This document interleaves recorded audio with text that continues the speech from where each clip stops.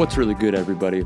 This is Nathan Allebach, and welcome to the show. Uh, it's been a long time since I've uploaded a new episode. Things have been busy on the career front, I'll say, and uh, crazy on the COVID front for, for everybody, obviously. But um, I've got some real insightful folks lined up to speak with in the next couple months, so I'm excited to get back in to the, the swing of talking with people in this format again. So, uh, yeah, let's just uh, get into it for today. Uh, for this episode, I spoke with the up and coming political YouTuber, Econoboi. Uh, Econoboi identifies as a social democrat and progressive, and most of his content is centered around economics, but he also debates and discusses uh, various cultural issues with figures on both the left and the right. And uh, personally, uh, as someone who's been consuming political content on YouTube for uh, almost 10 years, uh, I think, at this point. I've been super impressed with his range of economic knowledge, uh, particularly on a global scale, um, especially for someone like me who's a, a complete layperson on, uh, on the issues. So, um, yeah, in, in our conversation, we got into various critiques of capitalism from a leftist perspective and of social democracy uh, in particular, which is the, the sort of broad ideological framework in which uh, both of us uh, really operate within. So we spent the, the first half digging into the nuances of language and identity between leftists and capitalists, and like like we defined um, the, the differences between socialists and social democrats, which can I think get really in the weeds with people, especially online. So then we got into just various critiques and defenses of social democracy in particular. And um, I will say, I, could have gone for hours talking about this, and I know he can as well, and he has in the past. So there were several critiques of both capitalism and socialism that we didn't get into. So if you're interested in hearing more of his views, just check out his YouTube channel, and chances are he's covered uh, whatever you're thinking. Um, but yeah, throughout the whole conversation, there's this emphasis on rhetoric and messaging, which is something he does really well, uh, especially when facing political opponents. Um, he has this way of staying very temperamentally calm and polite while also not being afraid to, to make jabs or jokes as needed. So, very refreshing in this space online. And um, yeah, I'll have uh, his YouTube channel and other resources linked in the show notes. So definitely check him out. And if you've got any feedback for either of us, we're both uh, pretty accessible on social media, particularly uh, Twitter, Discord, and uh, YouTube. So yeah, all that said, I hope you enjoy our conversation. Now let's get into what's really good.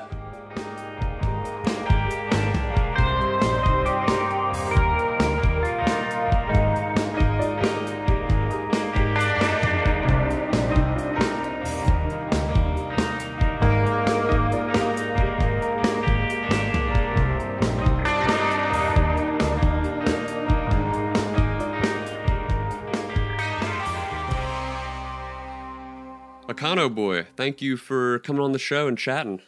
Thanks for having me. It's going to be a good time. The best of times. Yeah, I'm uh, I'm super grateful that uh, you you took the time to to do this. I've been a big fan of the content you've been producing the past year or so on YouTube, both in your Oh, really? big fan. What's your favorite video? Name your top five songs. Um, I think the the video that really got my attention beyond just the kind of debates and AMA styles that you've been doing was actually your video on uh, social democracy and the um, the global South and just the kind of response to that leftist critique of um, does social democracy require imperialism or colonialism? And I feel like I hadn't seen that critique and response to that critique uh, just sorted out in the way that you did. I thought it was like really precise and very empirical. So I, I, that that really drew me into a lot of your content. All right. You've, you've passed the test. I thought you were a poser at first. this guy. All right. I've been binging it. You can ask uh, my wife. I'm I obnoxiously walk around the house. I have AirPods, which I just got as a gift recently, but I even with them, I still go around the house listening with my iPhone speakers. So she's been uh, getting a crash course in half of your content. Um, yeah, I can't. Uh, I can't convince my own wife to watch my videos. So yeah, I think uh, it's it's it's it's tough. Yeah, yeah, yeah. It's rough, but it's good. It's great stuff, um, and I've been recommending it to everybody I talk to in the sort of you know hobbyist political space who who consumes you know comparable stuff around economics and social issues, which I know you've been dipping into as well a bit. So I'm excited to kind of go through this because my thought process in, in interviewing you or kind of having a conversation is I want to kind of do three things and they'll all sort of meld together. Um, I guess the, the broad the broad mission here is obviously the case for social democracy. I know you identify um, as a social democrat, which we can get into, and you can kind of explain in depth what that means to you. Um, and the, but I also want to kind of do that from the perspective, from a critical perspective. You know, kind of going through some of the more prominent critiques of social democracy from a leftist perspective, and also just kind of general critiques of capitalism, which kind of interweave um, with social democracy as kind of a subset of capitalism. So, to kind of, I guess, just to get us started off, uh, do you just want to kind of go through your worldview and how you identify economically and what these uh, terms mean to you? Yeah, sure. So I pretty much am. I would call myself a capitalist uh, because I don't really believe in total collective ownership of the means of production. Um, you know, some sometimes it makes good, but as an absolute rule, I think that's where you run into problems. And because uh, obviously we'd all agree with some collective ownership. Like most people would agree that you know we probably need a military that's state run, right? Um, collectively run under a democratic framework, right? Uh, same thing with you know uh, police or firefighters. You know, very very basic things we can all typically agree on, even conservatives. Um, and uh, but again, as an absolute rule, I think it, it doesn't really make a lot of sense. Um, and worker ownership is very similar, right? There's nothing wrong with worker ownership intrinsically. It's really just a matter of, you know, do you mandate it? Is it a requirement of, of, of business operation? That's kind of why I would consider myself a, a capitalist. And in terms of, uh, you know, the, the, the different sort of, you know, policy positions, you know, I, I, I tend to, it, it, I tend to talk a lot about the things that get talked about a lot online. Uh, and so that tends to be, you know, healthcare, uh, immigration, right? Uh, f- fiscal policy, right? You know, how much debt and stuff like that should we have? Which a whole range of of views on that one. Uh, environmental policy, you know, stuff like that. Just you know, the, the the stuff that people tend to talk about, and that, to be fair, is also what I am most interested in. So it kind of works out. Cool. Yeah, and we'll get into some of that along the way. I guess just to kind of take a couple minutes, just going through the label of social democracy and how that fits within the U.S. political spectrum versus the global political spectrum because I feel like for people who are extremely online and you know follow online politics to, to a certain degree i mean obviously the deeper you go you can kind of you get into these weird subcultures where everybody has like the, the most hyper specific label of like you know i'm a i'm a marxist leninist with maoist tendencies or you know what, whatever it might be and you get it gets pretty weird and esoteric. So i think it's helpful for me to kind of map out when I talk about these issues, like what social democracy means to me and how I see it. Because obviously, there's socialists who will use social democratic countries and policies to kind of like defend their positions and be like, oh, this is a leftist thing. You know, look at the Nordic countries for this thing. And then capitalists on the the right or kind of center right will do the same thing. Like they'll try to claim social democracy. So I guess like when you look at the current U.S. political spectrum in kind of comparison to the rest of the world, like how do you where do you view social democracy or social democrats uh, on that spectrum? In in terms of world politics, I would say social democracy is left of center, um, and in terms of is it far left or center left, it kind of just depends on the country you know, of course, right? The Social Democrats in Germany are kind of just the center left party. They're not like radically to the left. Um, same thing with the Nordic economies, stuff like that. Um, sometimes there's coalition agreements that happen, but it, it, it seems broadly the case that amongst developed economies, which I'm most familiar in, in terms of the political interactions there, and it's it's most consistent uh, social democracy tends to be a center left ideology, and with within the U.S. framework, I would say economically speaking, social democrats would be considered probably I would call it um, not. I, I, still wouldn't call it far left, right? Um, because economically, I'm not sure if I'm probably not quite as far left as like Bernie Sanders, guy who probably would be considered the farthest left in sort of current relevant American politics. Um, and um, so yeah, that's that's how I would describe it in general, right? It's it's a capitalist sort of it's it's it's a way to manage capitalism that's sort of altruistic in nature uh, in such a way that we take advantages of the sort of gains of private investment and market oriented economics and uh, try to distribute them as fairly as you can, whilst at the same time encouraging development and entrepreneurship in the first place. And I think there's economies that have done that better or worse. Um, you know, to some extent, you can consider almost every developed country and almost every country in general social democracy if, if all it requires is some redistribution under a market framework. But obviously, there's probably a, a relevant spectrum there. And, um, you know, the, the economies that I would tend to look at as good models would be the Nordic economies. Uh, specifically, I think if I had to pick one, probably Norway would be would be my my number one. But you know, there's there's a lot of good policies in a lot of these countries that I think uh, we could stand to learn from in the United States or or Canada or even if you're in Europe. Obviously, it just depends on the the, the country. Yeah, yeah, I'd sign off on on pretty much all of that. I guess it gets tricky too because obviously when you start talking to people that are more right leaning, anything left of you know like a centrist Hillary Clinton and even Hillary or Obama in some cases they would just call them socialists anyway but pretty much anything you know left of center is socialist, leftist, communist, whatever. So it's kind of hard to. it's, it's, there's almost no point in even grappling with that criticism. But in terms of um, yeah. from a leftist position, it gets interesting just because I know not just online, but just in le- in leftist circles in general, there's this kind of di- difference in mindsets of you know where does the split from leftism into capitalism start? Because some more radical leaning leftists will say that leftism, by definition, has to be anti-capitalist. So that includes social democracy as a kind of you know mm-hmm. capitalist framework, even though it has more social policies and programs within it. Um, but then there's other people on the left who identify as leftists who will say, well, social democracy has a critique of capitalism, you know, and it's actively trying to reform and kind of undermine capital interests. So there's certain leftists who will say, social democrats fit within the leftist umbrella.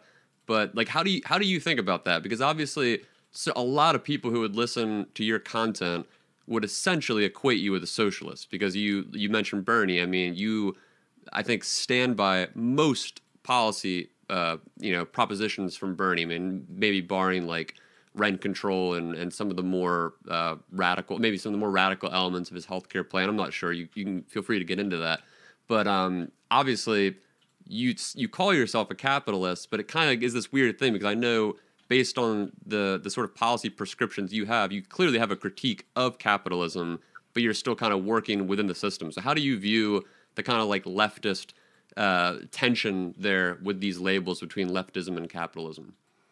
I mean, every this is this is something that is is not new, really. I mean, mo- most most economists and economic thinkers are pretty willing to recognize that there's problems with with market distribution of goods and services depending on the market and that government influence has uh, the potential to have a very negative and positive impact on the economy and on well-being um, you know if if uh, depending on on the situation right? I mean in your in your first day of a macroeconomics course you're probably going to learn about how uh, the market outcome isn't always the socially optimal outcome. That's like one of the first lessons you'll learn. Pollution's a very classic example where you know the, the market might be uh, incentivized to literally pollute end- endlessly a river um, because of all the associated you know sort of uh, behavioral reasons why that's the case and um, whilst the market might clear to a certain extent whilst profits might be high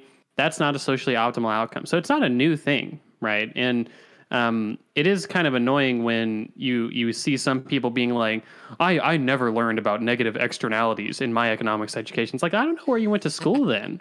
Because I didn't go to an Ivy League school. I didn't go to some fancy schmancy, you know, hundred thousand dollars for my degree school, right? Right. Um, it's not new these kinds of critiques, right? Fundamentally, and when it comes to the idea that, oh well, you know, you, basically, if you're going to consider yourself on the left, you need to have an anti-capitalist bend.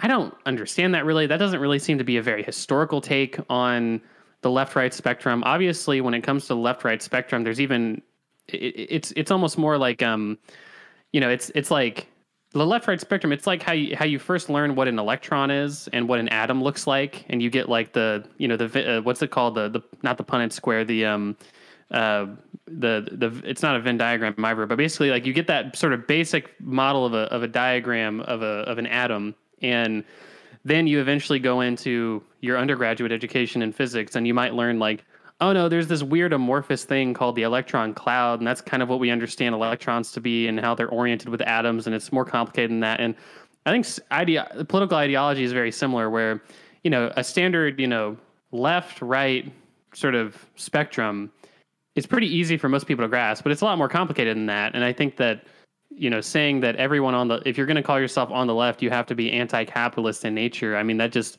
you know what what do you mean by that? Does that really make any sense? And uh, if you're if you're talking about fundamentally the critique of capitalism and market-oriented economics, I mean, you don't. Most economists don't advocate for a privatized military, right? right. Now, why is that?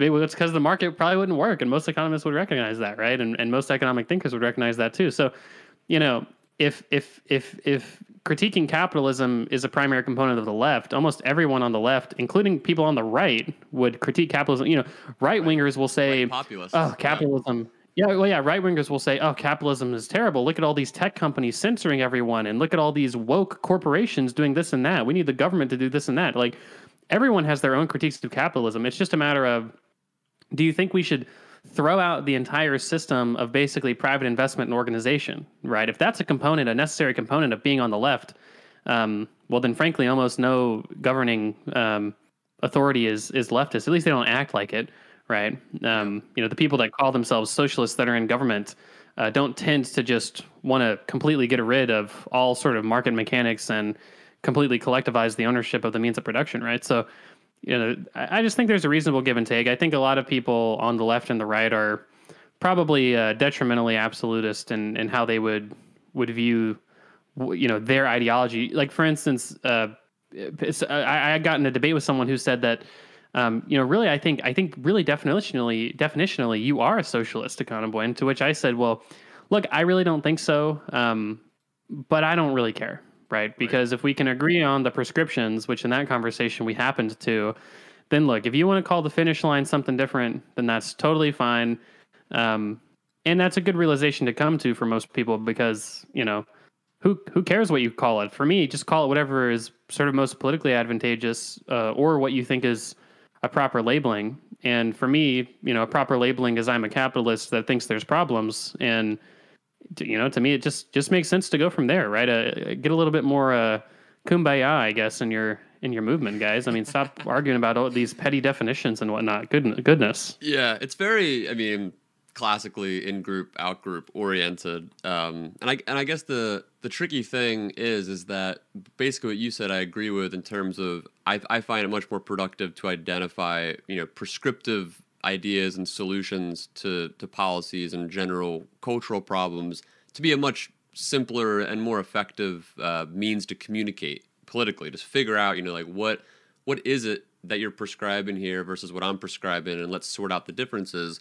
Um, i guess just to ha- like to harp on this just for a few more moments. I mean, I guess like the weird thing about I'm yeah. sure I'm sure you're kind of starting to really see some of these threads, you know, untangle. The, the more popular you get on YouTube, the more active you get in these political subcultures because you realize that that isn't the popular stance. Like the popular stance isn't let's just figure out policy prescriptions and argue about which are the most empirical or, or effective or what have you.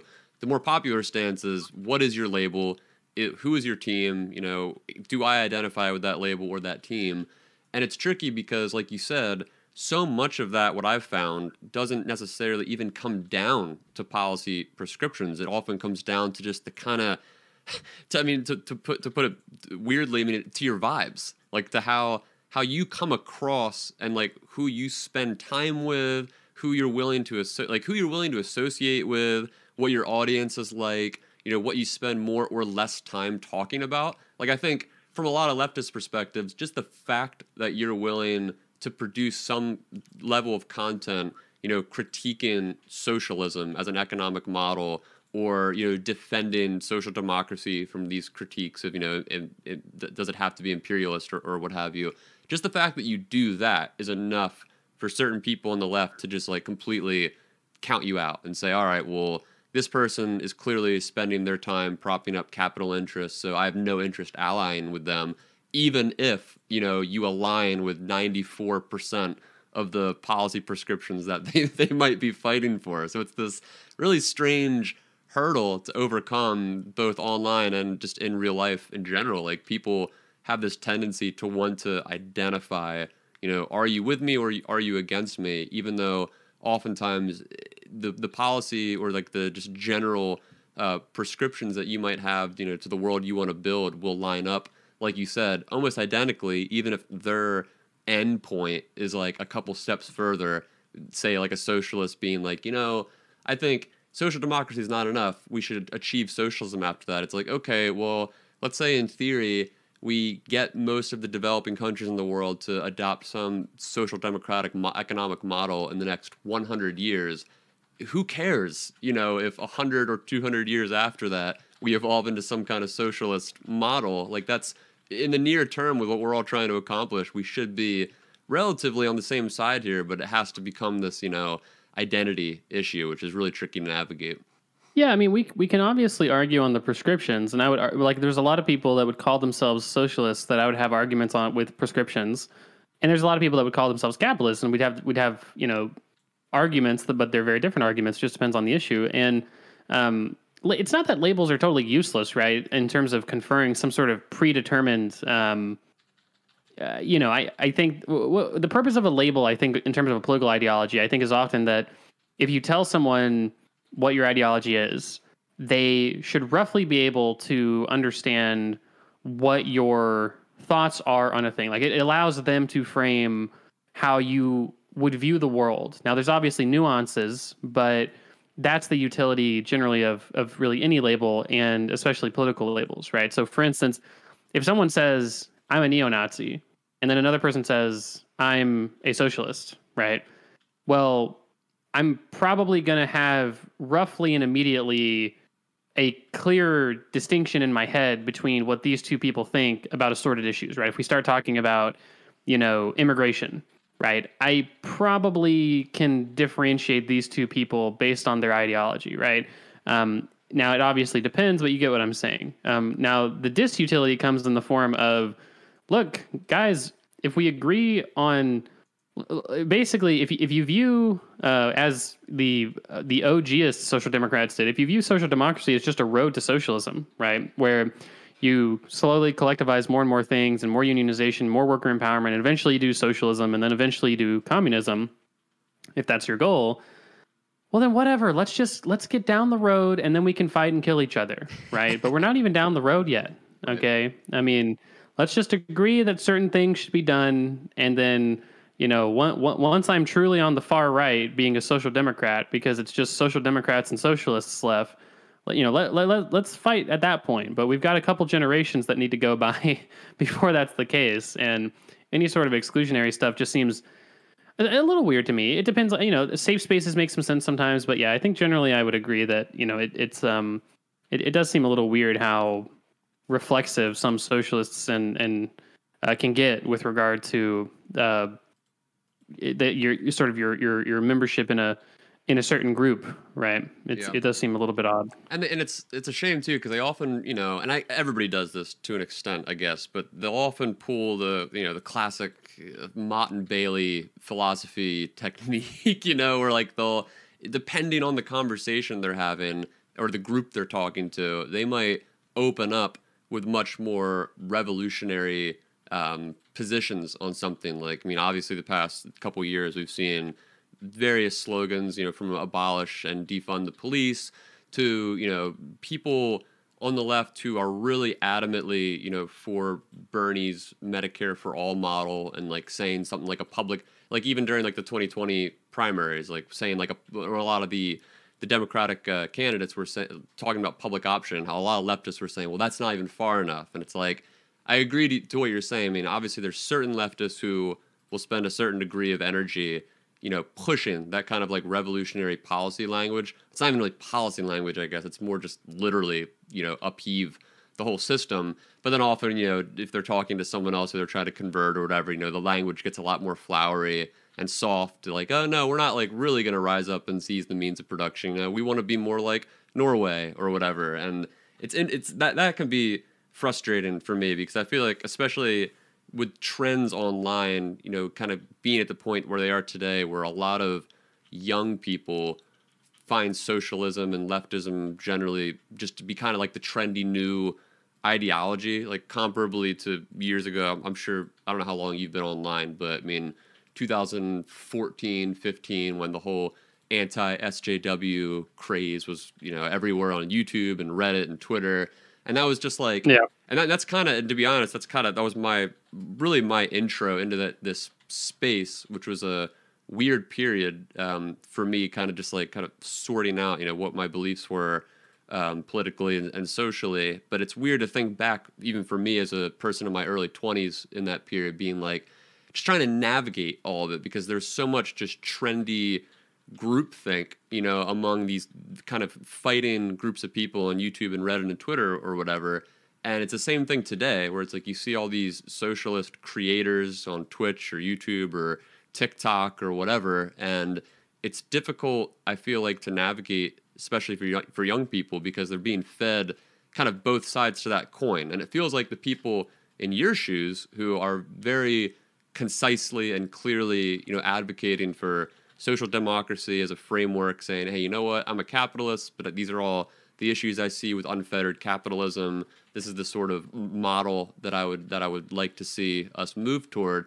It feels like it, that position is very rare, and it's unfortunate because like that to me, it has all of the sort of um, radical elements. You know, when you when you think about like the particularly the U.S. political spectrum where it is now. I mean, obviously we don't have a universal healthcare model or free education or all a lot of these more uh, more strong welfare policies that some of the Nordic countries have. So we have like a lot to work for there. And the U.S. is a very individ- individualistic and right leaning culture when it comes to guns and free speech and anti government. So a lot of the social democratic positions are radical enough, I feel, that if I were like a 14 year old or an 18 year old kind of growing up right now, if I had someone like you to relay that information to me, I'd be like, yeah, this all makes total sense. But it sucks that the more like revolutionary, just kind of out there and unempirical ideologues who are pushing, you know, this kind of vague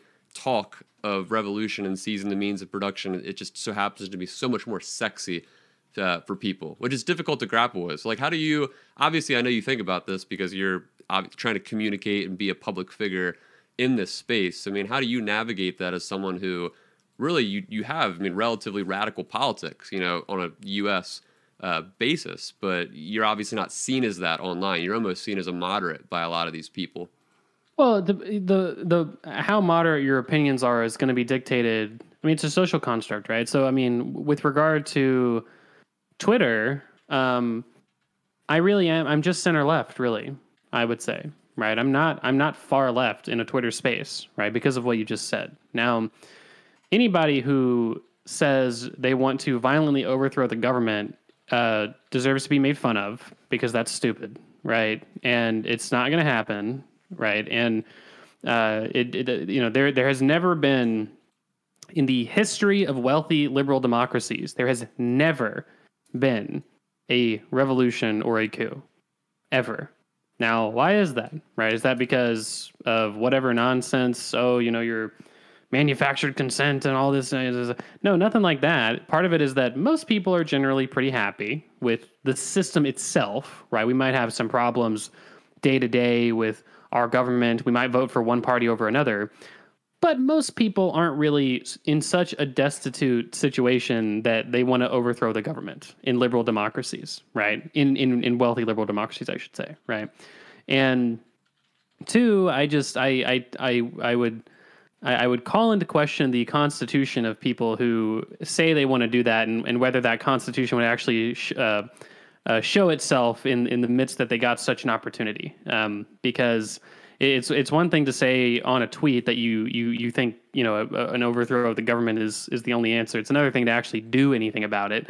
Um, I mean, you know, I, I'm reminded, for instance, of a of a time when I heard uh, Ben Shapiro once say.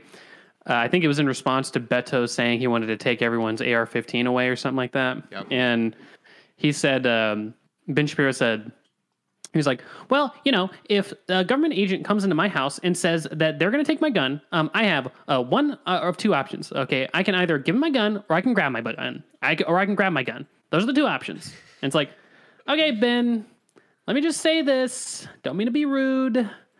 I don't think you're the one that's going to be shooting at the police if they come to take your guns away. Okay, let's just be real here. Now, I don't think that's going to happen. I don't advocate for you getting your guns taken away or anything like that, but don't pretend to be tough guy. Okay, that annoys me because you're not tough guy. Uh, and it's just kind of weird and awkward uh, for you to say something like that, right? And I feel very similarly with the revolutionary left. Um, but with the reformist socialists, I mean, that's where more this sort of esoteric debate kind of gets counterintuitive where you know look guys i mean we actually agree on most things right and and and let's just go from there in terms of you know how how it can be frustrating to um I suppose to deal with the lack of nuance in public discourse, I guess that was part of the reason why I started my channel to try in some small part, uh, to, to try in some small way to um, tr- try and counter that sort of lack of nuance and, and try to inject some nuance and some economic discourse in a in a scene which is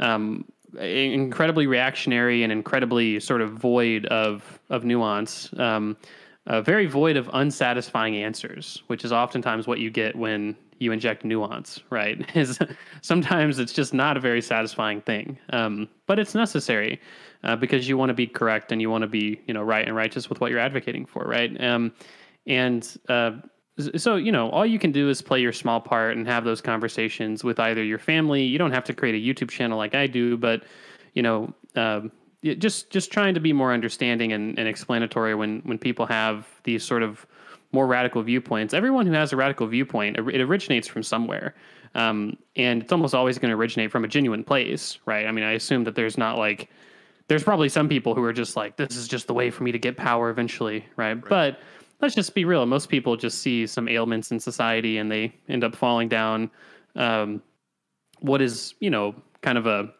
more reactionary you know rabbit hole. It seems like people are kind of predisposed to reactionary, uh, you know, reactionaryism, whatever you'd call it. Um, and it seems like that's true across pretty much every culture and every moment in time, depending on what you're looking at. So, uh, you know, the, the, the the best thing to do isn't necessarily to call them, you know, dumb or idiots or anything like that. But, you know, uh, ho- hopefully you can just try and talk to them on a human level and get them to grasp the the data. Uh, something that I think that Destiny and Vaush have spoken to is the idea that when you're talking to someone in a public matter, uh, in a public manner, I should say, um, your goal isn't necessarily to convince the person you're talking to, especially if it's another content creator. Your goal is to try and present an opposition to that person that is convincing to their audience uh, who is watching, right? So if you're if you're debating like Ben Shapiro, uh, you should never be under the sort of you know you should never be under the assumption that he's at all willing to change his position because he's probably not because you're probably not going to convince him. And even if he was be able to be convinced by you he has a lot of incentive to not even express it. So your goal really with a conversation like that is to try and present to the ben shapiro fans of the world that actually what he's saying is ridiculous and it's not evidentiary most of the time and you know pointing out these rhetorical tricks here and there, and hopefully you can uh, crack that armor um, and convince people to to have a little bit more more depth in their opinion. Um, some good examples of this might be, I think I think a lot of people felt that way when Destiny debated Richard Wolff, mm. where he didn't really come off very good in that debate. Richard Wolff didn't. Um, and uh, I'm trying to think of other examples, but there's probably a plethora of examples of basically people debating people that was strategically kind of a mistake. Um, I can think of one example. One more example was um, when uh, William Lane Craig debated Shelley Kagan, and when William Lane Craig debated, uh, I think his name is Stephen Carroll, the physicist, Oh, Sean right? Carroll. Maybe it's Sean Carroll, yeah, the physicist. It's like there, you know, those were strategic errors for him because he looked like a fool because he he thought to himself, you know what, let's have a physics debate with a physicist.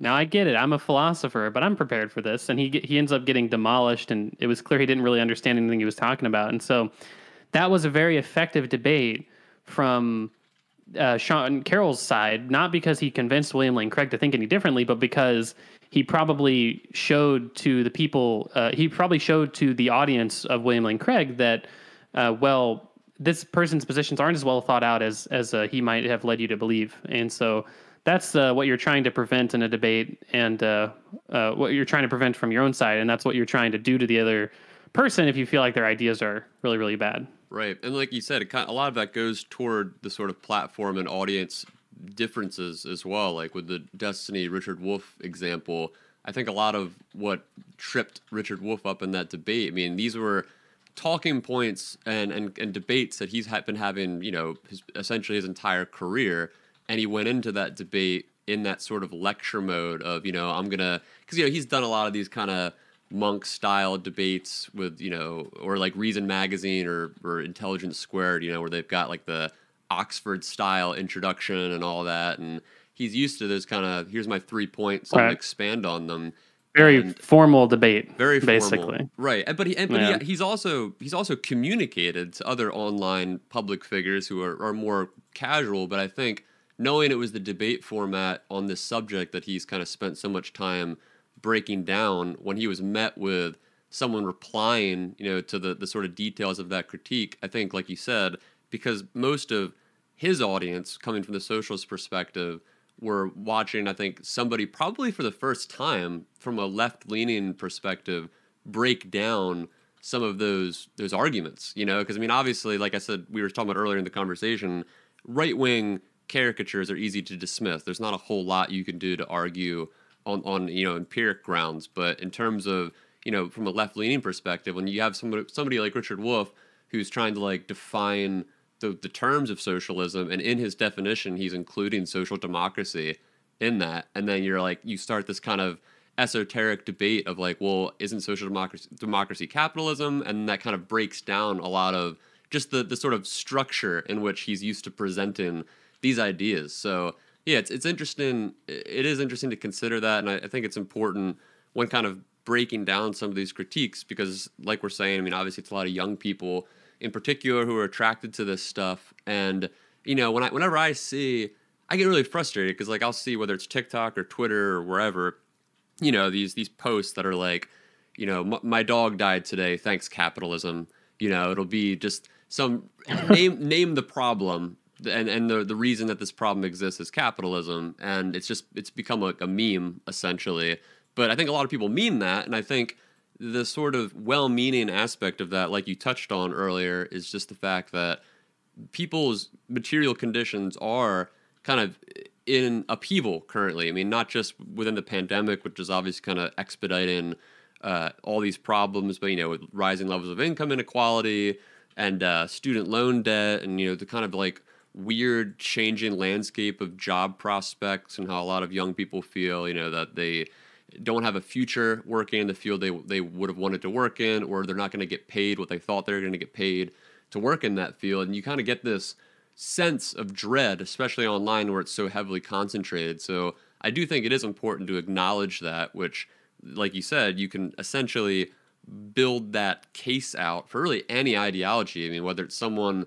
from the far right or the far left, and you you, you find this disenfranchisement of, of people, which often leads to extreme ideologies because people are desperate and they see desperation around them, whether, and even if they're not desperate, even if they come from a more lucky or privileged background, you know, they see climate change looming in the future and they, they are looking for the kind of simple uh, solution or the simple problem to identify with because it makes to them the kind of synthesis of, of how they're gonna like operate in the world become simpler which is weird because i guess to me a lot of um, the semantics that we're kind of going through here to me, the importance of breaking that down is to get into those more precise definitions and those more precise uh, causes of these problems, because then you can really solve for them. You know, like when you start talking about X problem is because of capitalism, it's like, well, what is the prescriptive solution to that? And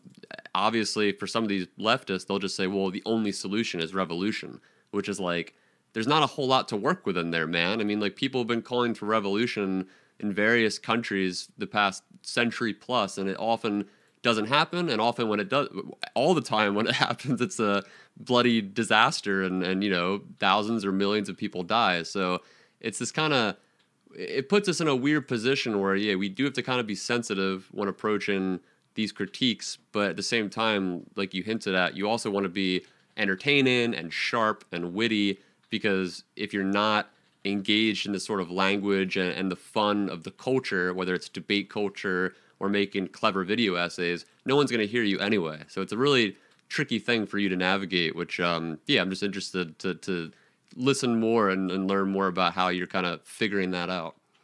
Yeah, no, for sure. It's, it's, it's a, it can be a moving target. I mean, obviously the, you know, the Overton window is a real thing, right? And so you, you, uh, battles tend to to transition, right? So it's it seemed like, uh, for, for, instance, for uh, it, there there seemed to be relatively clear, sort of not dividing lines, but there, there was definitely waves of certain sort of civil issues that people brought up. So obviously there was a civil rights movement in the 1960s, and uh, or we can go all the way back to slavery, right? You know, slavery was a big issue ever since it started to when it ended, and from then from that point on, it was okay. Well, um, what does integration look like? And basically, for like hundred years, the debate was, you know, how, how to how, how, do we properly and, and righteously integrate uh, these former slaves and, and, and descendants of these enslaved people uh, into society.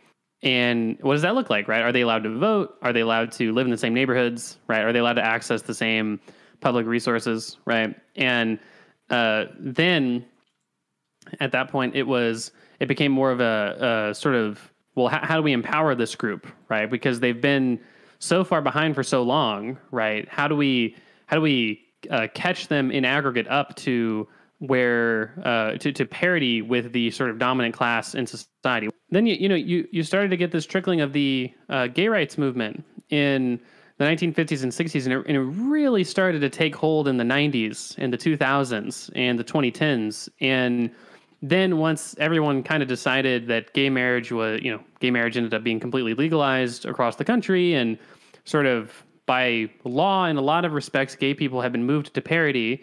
Um, except for I think there's cases where like a em- employer discrimination is kind of another big fight with the gay community.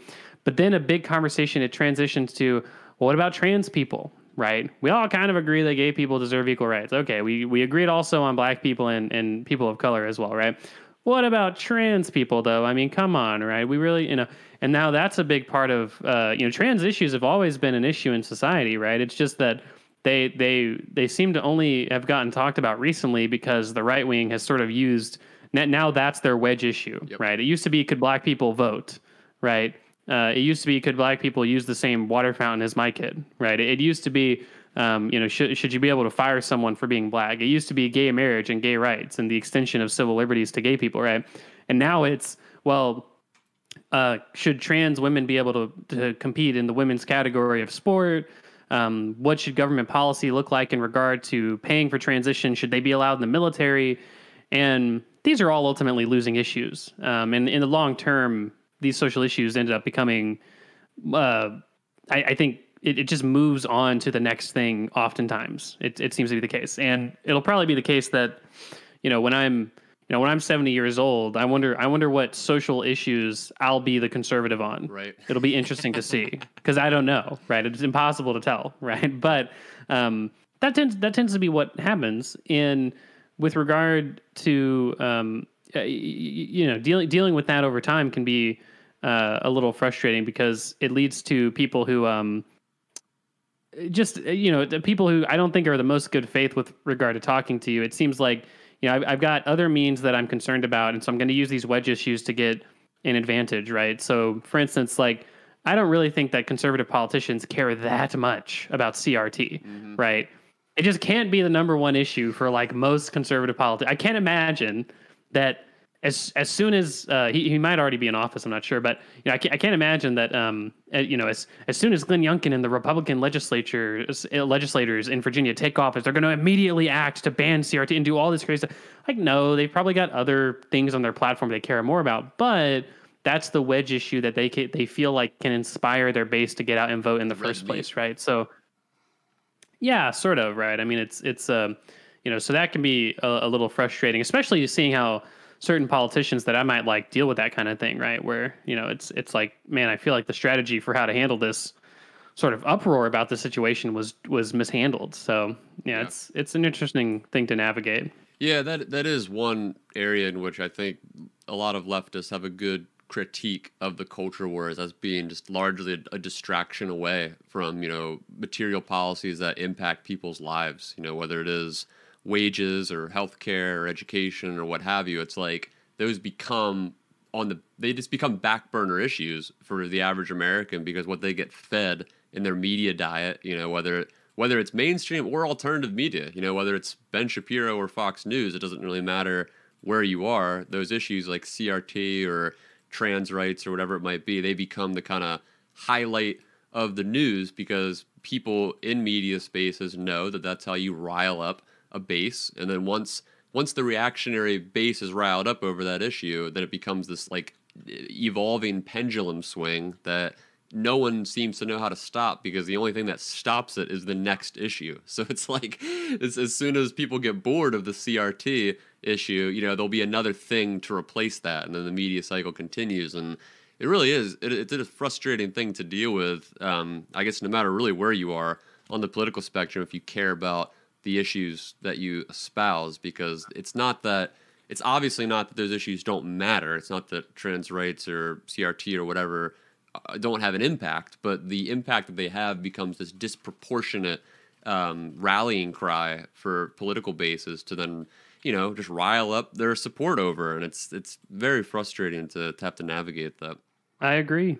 I agree. Yeah let's hop in. Uh, we, we, that was a good uh, a good good ramble on some of these like calm and just general issues of language and, rhetoric. So I think um, we can just kind of run through some of the the critiques I think of capitalism, and I'm just interested to know how you generally respond to some of these. I mean, obviously, you, you mentioned Richard Wolff. You know, he's one of the most prominent uh, Marxist uh, academics or public figures currently um, both online and just in in the uh, the real world as well.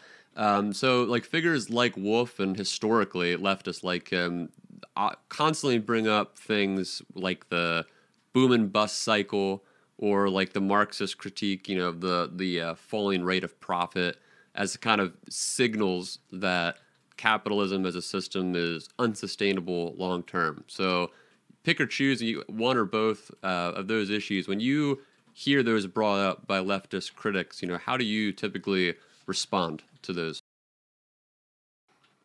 Boom and bust cycles happened in even centrally planned systems. It seems to just be a function of, uh, you know, uh, of, of, the human condition almost is that if you whether you've got market orientation or you've got uh, planned economies, it seems like you're kind of just gonna have boom and bust, right? Whether they be caused uh, because of the system or because of some exogenous force, right? Like uh, for instance, obviously a huge boom to the um, or a huge bust to the Maoist system obviously was uh, they had a lot of environmental degradation, right? And so uh, partially caused by them, but also also partially just the weather of the time, right? They had a big bust in their grain supplies, and part of that uh, part of that was what led to that huge famine. Right, right. Now, most of the reason was their poor distribution, right? So you can't get them off the hook in that regard. Mao basically because of government policy led to a lot of people starving to death that wouldn't have otherwise probably ended up starving to death. Um, but that's an example of a shock that would happen uh, whether you're a capitalist or, or, or a socialist or whatever might have you, right? So I think the boom and bust cycle cycle is not really as big of an issue as as you might imagine. And um, if if anything, I think that part of that shows the robustness of you know market economics and sort of capitalist orientation fundamentally is that uh, yeah, there's boom and bust cycles, but there's not like just bust, right? Um, you know, you might have recessions where output goes down, but it doesn't it doesn't tend to be the case that oh uh, because you have output going down, all of a sudden you've got tens of millions of people starving to death, and all of a sudden tens of millions of people are homeless overnight. Right. right? Even in the 2008 financial recession, when in theory, right, um, this was like the end of capitalism, right? There's going to be tens of millions of people homeless and starving because they lost their homes and stuff. You still didn't see that. Now, it was a huge impact for a lot of people, don't get me wrong, but um, the system eventually recovered, is kind of the point, right? Um, Just- and, and just to hang on that just for a second, I mean, like you said, I think it's a it's a great point to bring up the sort of centrally planned alternative, not necessarily having a an answer for that critique. Um, but is there an answer within, say, social democracy when we talk about the sort of aftermath of a boom and bust cycle, like the recession, where when we see the sort of disproportionate um, gains and losses, like the income inequality expand, you know, particularly with that, like between uh, like black people uh, with like housing, you know, being disproportionately impacted, and we see this kind of just continual gain. Is there, besides like just general welfare policy, is there like a answer you would prescribe to, to that issue? It's kind of like be, it, just as, under the assumption that it would be an ongoing uh, issue, like every ten or fifteen years we go through this cycle. If that were to happen every single time, is there a sort of a way to bandage that that so it doesn't become so severe each time for for various minorities? Particularly, Yeah. a lot of people obviously, but particularly minorities in this case. Yeah, I think part of it is a paradigm shift uh, in general, right? And I think we we absolutely saw that paradigm shift in full swing in 2020. So the paradigm shift I'm talking about is that you know if you if you have a recession because of one reason or another, um, it, you know the recovery is almost entirely dictated by government policy, which has proven to be able to uh, incredibly quickly uh, sort of advance an economy's recovery, depending on how much they want to invest in in the economy in general, right? So, uh, in 2008 uh, and 2009, what you saw was some pretty milk toast stuff coming out of the government, right? Huge global financial meltdown, right? And what you saw from the U.S. government was a $400 or $400 billion bailout uh, for uh, basically to stabilize the financial market, right? That was the TARP bailout that Bush did. And then you saw, I think it was another $700 billion that was more kind of people oriented that Obama did.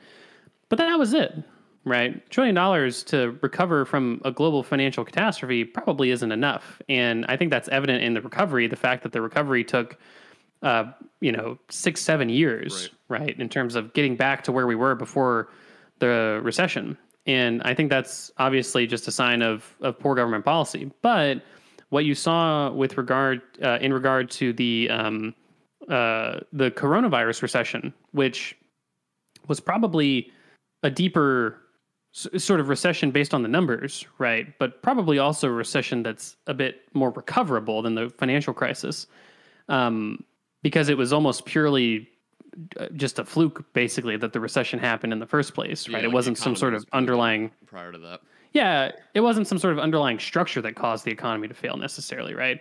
Um, it was the coronavirus, right? And even in that regard, what you saw was that the U.S. government did five trillion dollars worth of stimulus. If you count the infrastructure bill, six trillion, right? Um, which is probably reasonable to count the infrastructure bill, right? I mean, that's an unbelievable amount of stimulus. And uh, what did that lead to? Well, it led to us being one of the first countries to recover from the recession uh, completely in whole part.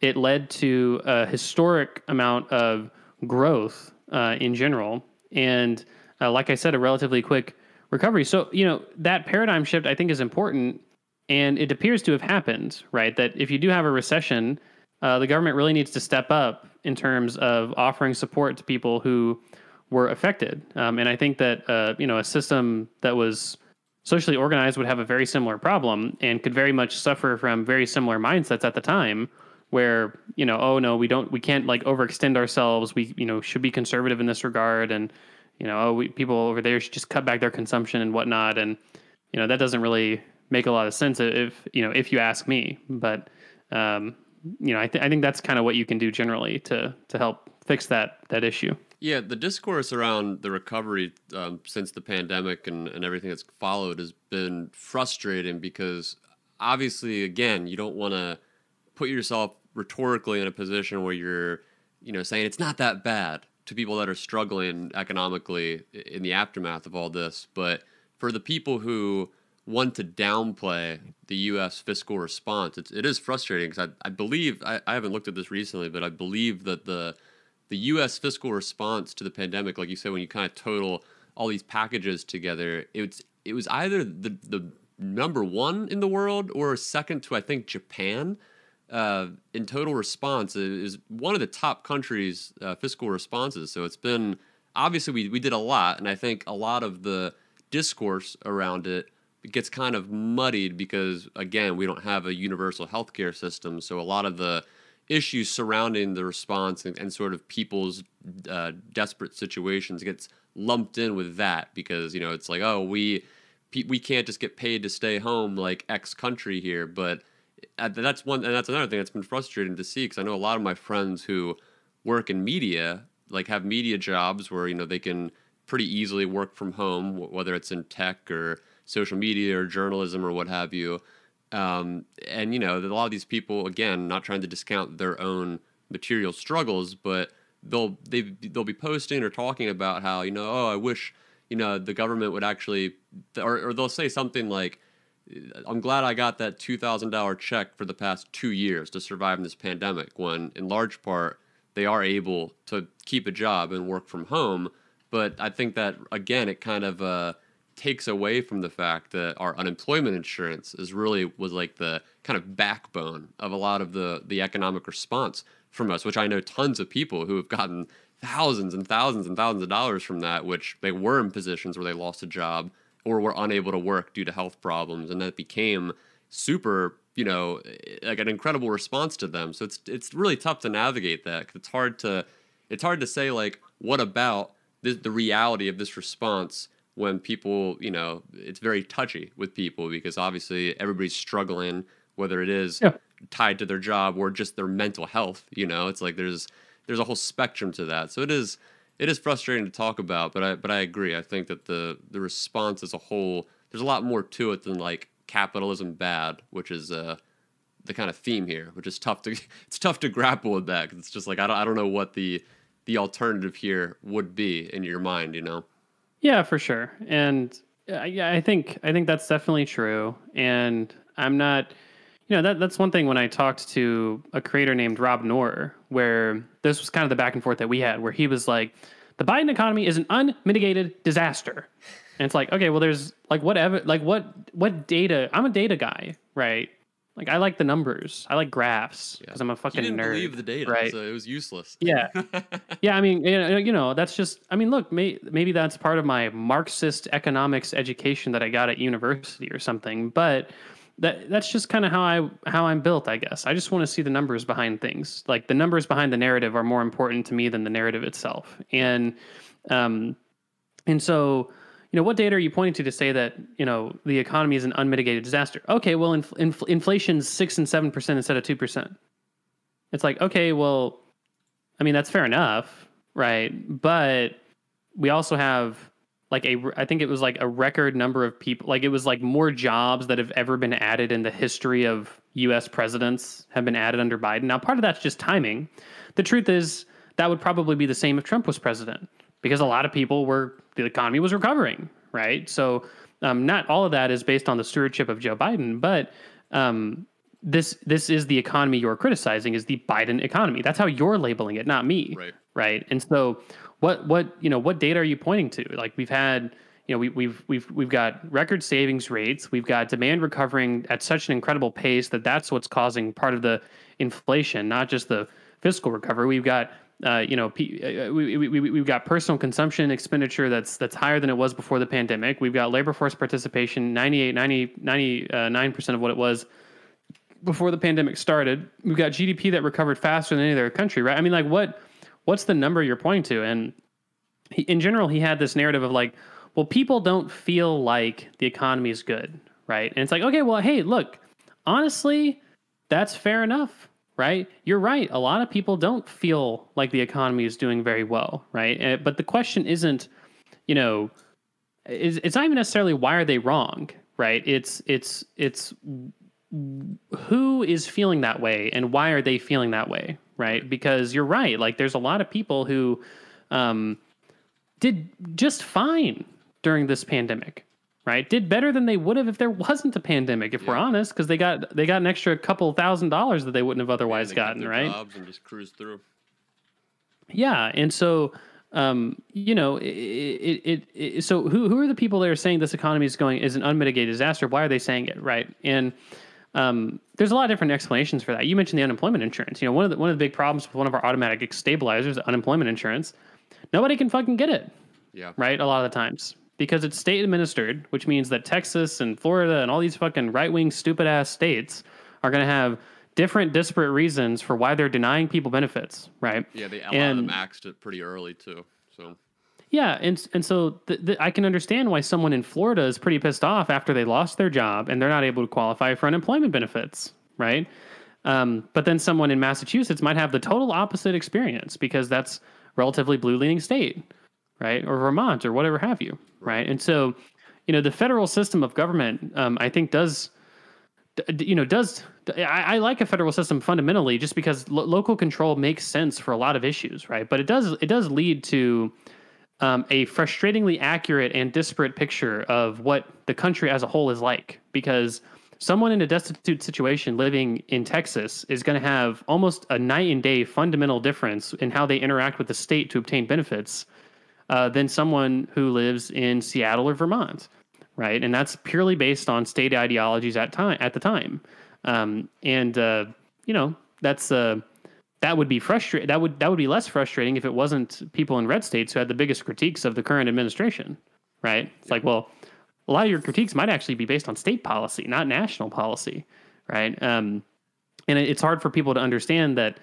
you know it's a it's a federally funded but locally administered program, right? And so, right, I mean that's that's where you'd end up with uh, the potentially these discrepancies in, in how they, they view the system. So, you know, that can be frustrating. It's not that anyone's wrong for how they feel, um, but it's really just a matter of, like I said, why they're uh, feeling the way that they feel and uh, r- rationalizing that to them, right? I think that uh, I'm, I'm reminded of a, I don't- I don't recall where I heard this from, but it was, uh, you know, hey, if uh, you know, if, if you lost your job, if you're in a bad situation, you know, don't look at the don't look at the immigrant, don't look at the other poor person, right? Look up, Yep. right? Look at your government, right? Look at look at the the wealthy of society and and how your government interacts with them, right? And that's really what uh, can probably explain more of your problems than you know the the immigrants or the you know the whatever the the the, the, the municipal uh, sort of uh, you know pu- public utilities or something like that, right? So just it has to be more reasonable than that.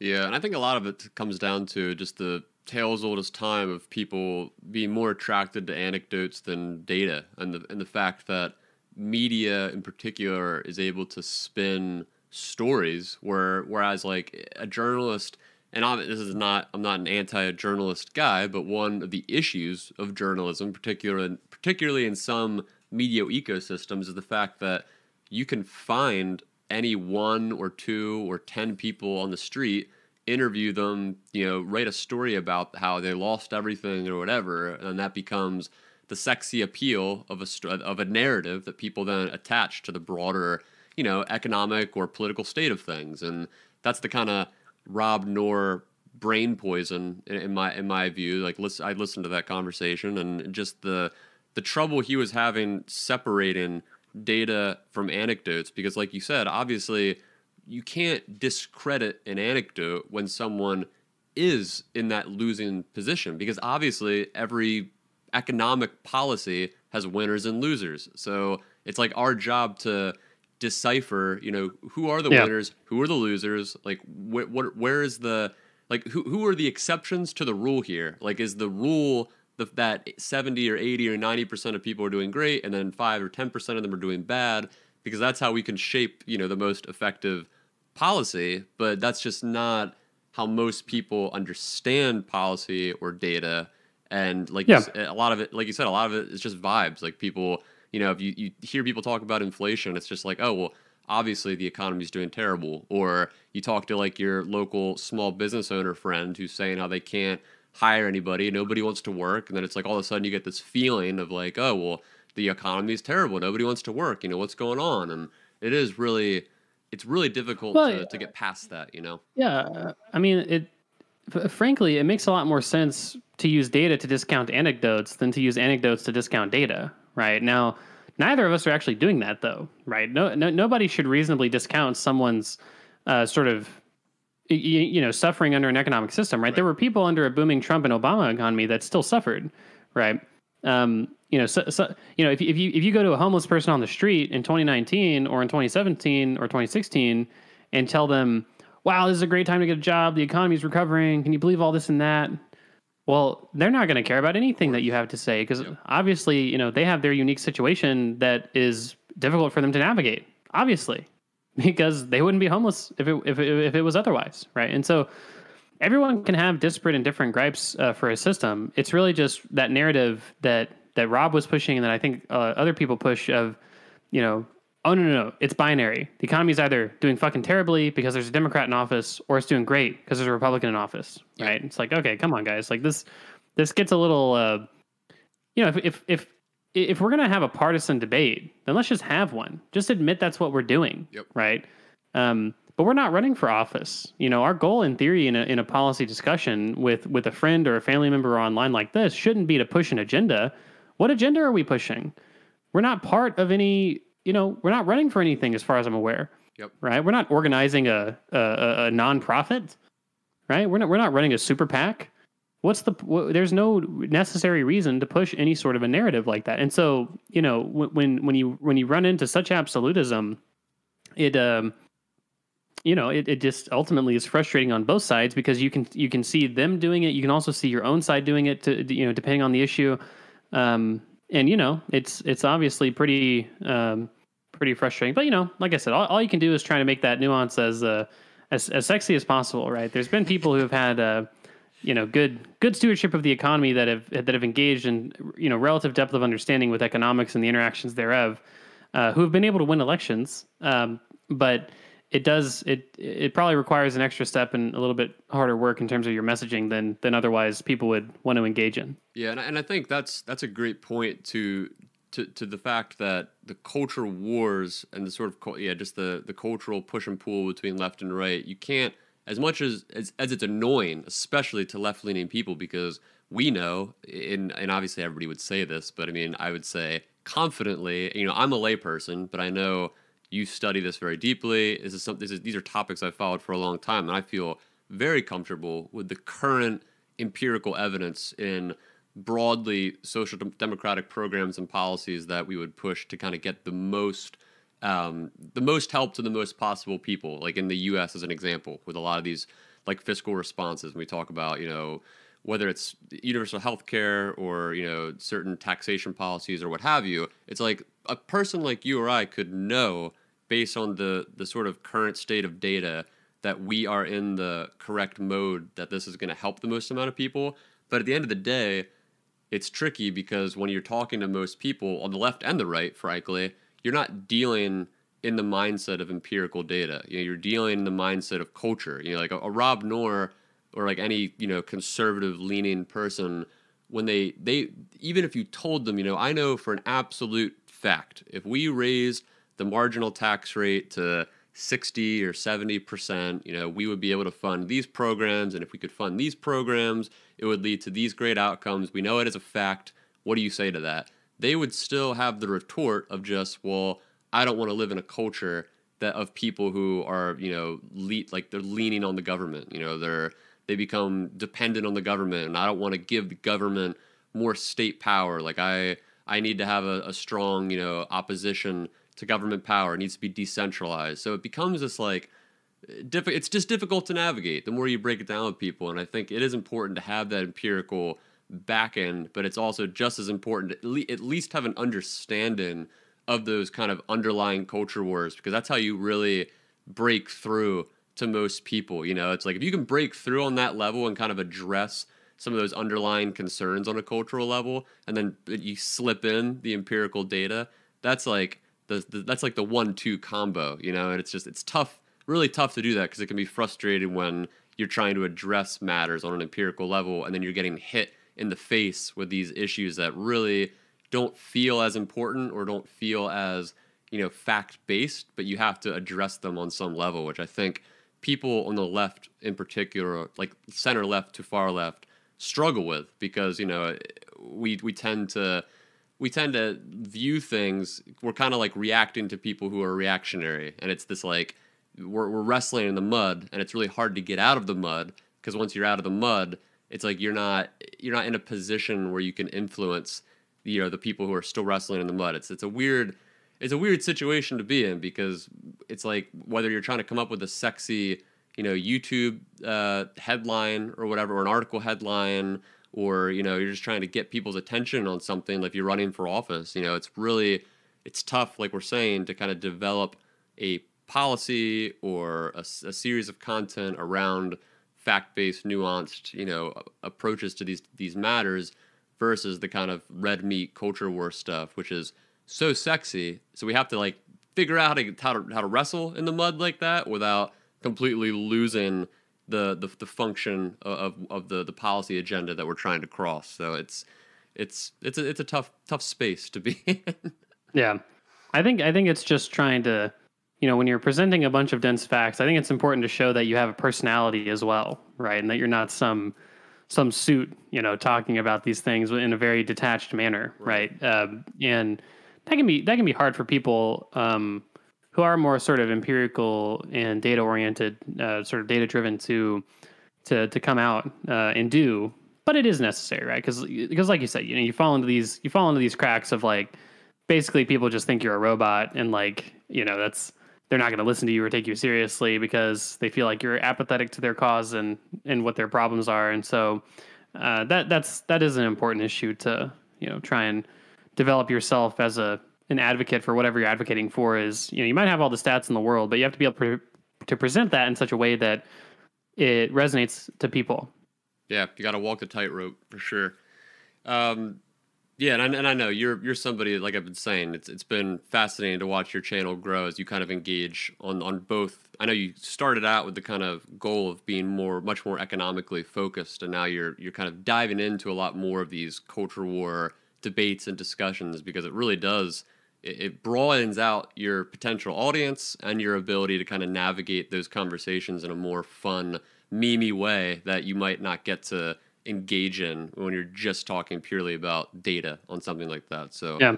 it's a good thing. I mean, ultimately, yeah, ultimately, I'm really, I'm willing to talk about anything. Um, it's just that I'll be, you know, some, some topics are just, just so not interesting to me that it, it can be because you know it's like ultimately with every with every debate that's not about i mean even even economics debates i do this but like you know t- typically unless it's short notice i try to prepare for all the different discussions i have right and so um you know with, with certain topics it's like oh man do i really want to commit myself to preparing for this topic yeah. for a few days or a week or something like that and yeah sometimes the answer is definitely Probably not. yeah, so you gotta get yourself motivated to something that you just have no interest in. It's that's tough. Um, yeah, let's let's jump through some of these more, I guess, hot button issues. Uh, the next one I had on my my agenda here was how, in your view, does capitalism and or social de- social democracy um, address climate change and just ecological disaster in general? Because I feel I feel like this is one of the top kind of concerns that leftists often bring up is the, the idea that waste and pollution are sort of inherent to capitalism due to its need for infinite growth and, and, you know constantly having to you know colonize and, and draw out resources to, to feed its growing need not just for population but for profit. So what is your um, response to that critique? You know in terms of how does capitalism address the environment the answer is that it does pretty marginally, right? So like obviously when we're talking about markets and private investment, um, with or without government uh, involvement, there's going to be some amount of like push and move towards being more sustainable and green. There always has been, but it, it it's really a question of well, will capitalism do that on its own? And you know, the, or I'm sorry, apologies. Will, will capitalism do that on its own to the extent that the environment, uh, you know, will be protected holistically, and the economy will be green holistically?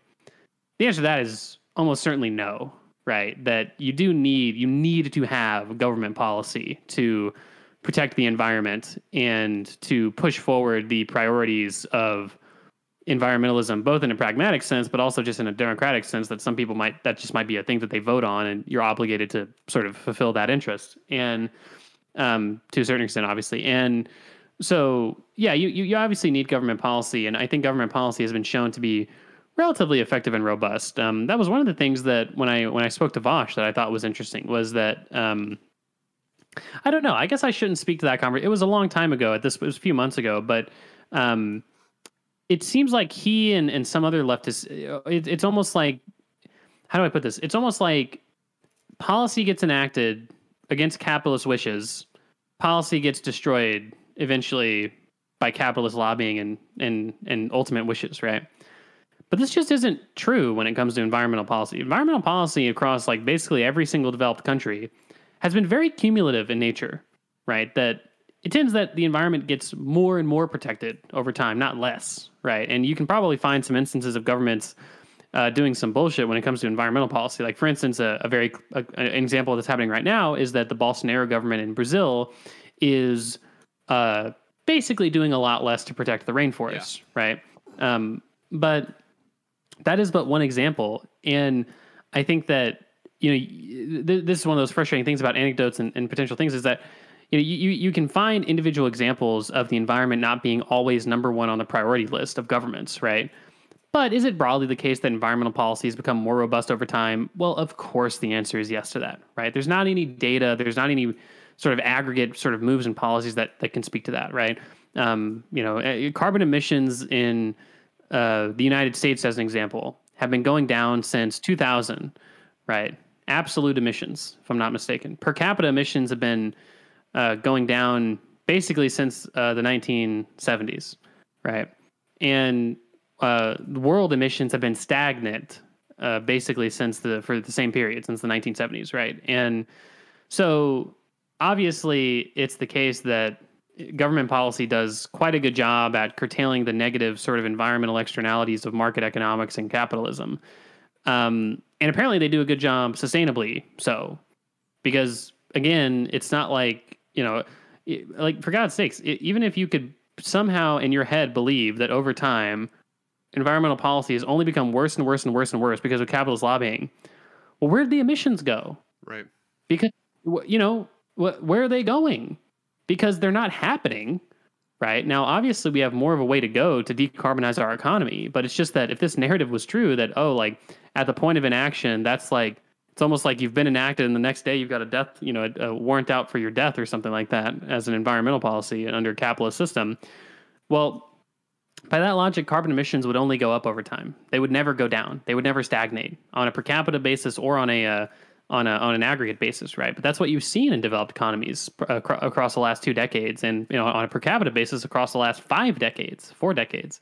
So, you know, I don't know. I, t- I tend to reject again that absolutist narrative that well, capitalism cannot have environmental sustainability baked into it because basically the capitalist elite will always eat away at um, any sort of gains that you can you can make with regard to the environment. Um, I don't agree. It just doesn't seem to be bore out um, based on the reading of the data and just basic sort of following government policy over time. Well, the interesting uh, kind of point to, to, to, jam in here, too, is that a similar argument is often made about welfare policy being quote unquote stripped over time, which I know you've talked about empirically not being the case, that particularly in the US, I mean, welfare policies have largely expanded since um, like the New Deal era. But I think part of the the leftist critique to to the point you just made on both the welfare front and the environmental front would just be it's not enough. You know, like they would say it's not enough, it's not quick enough. So like in the example of welfare, okay, so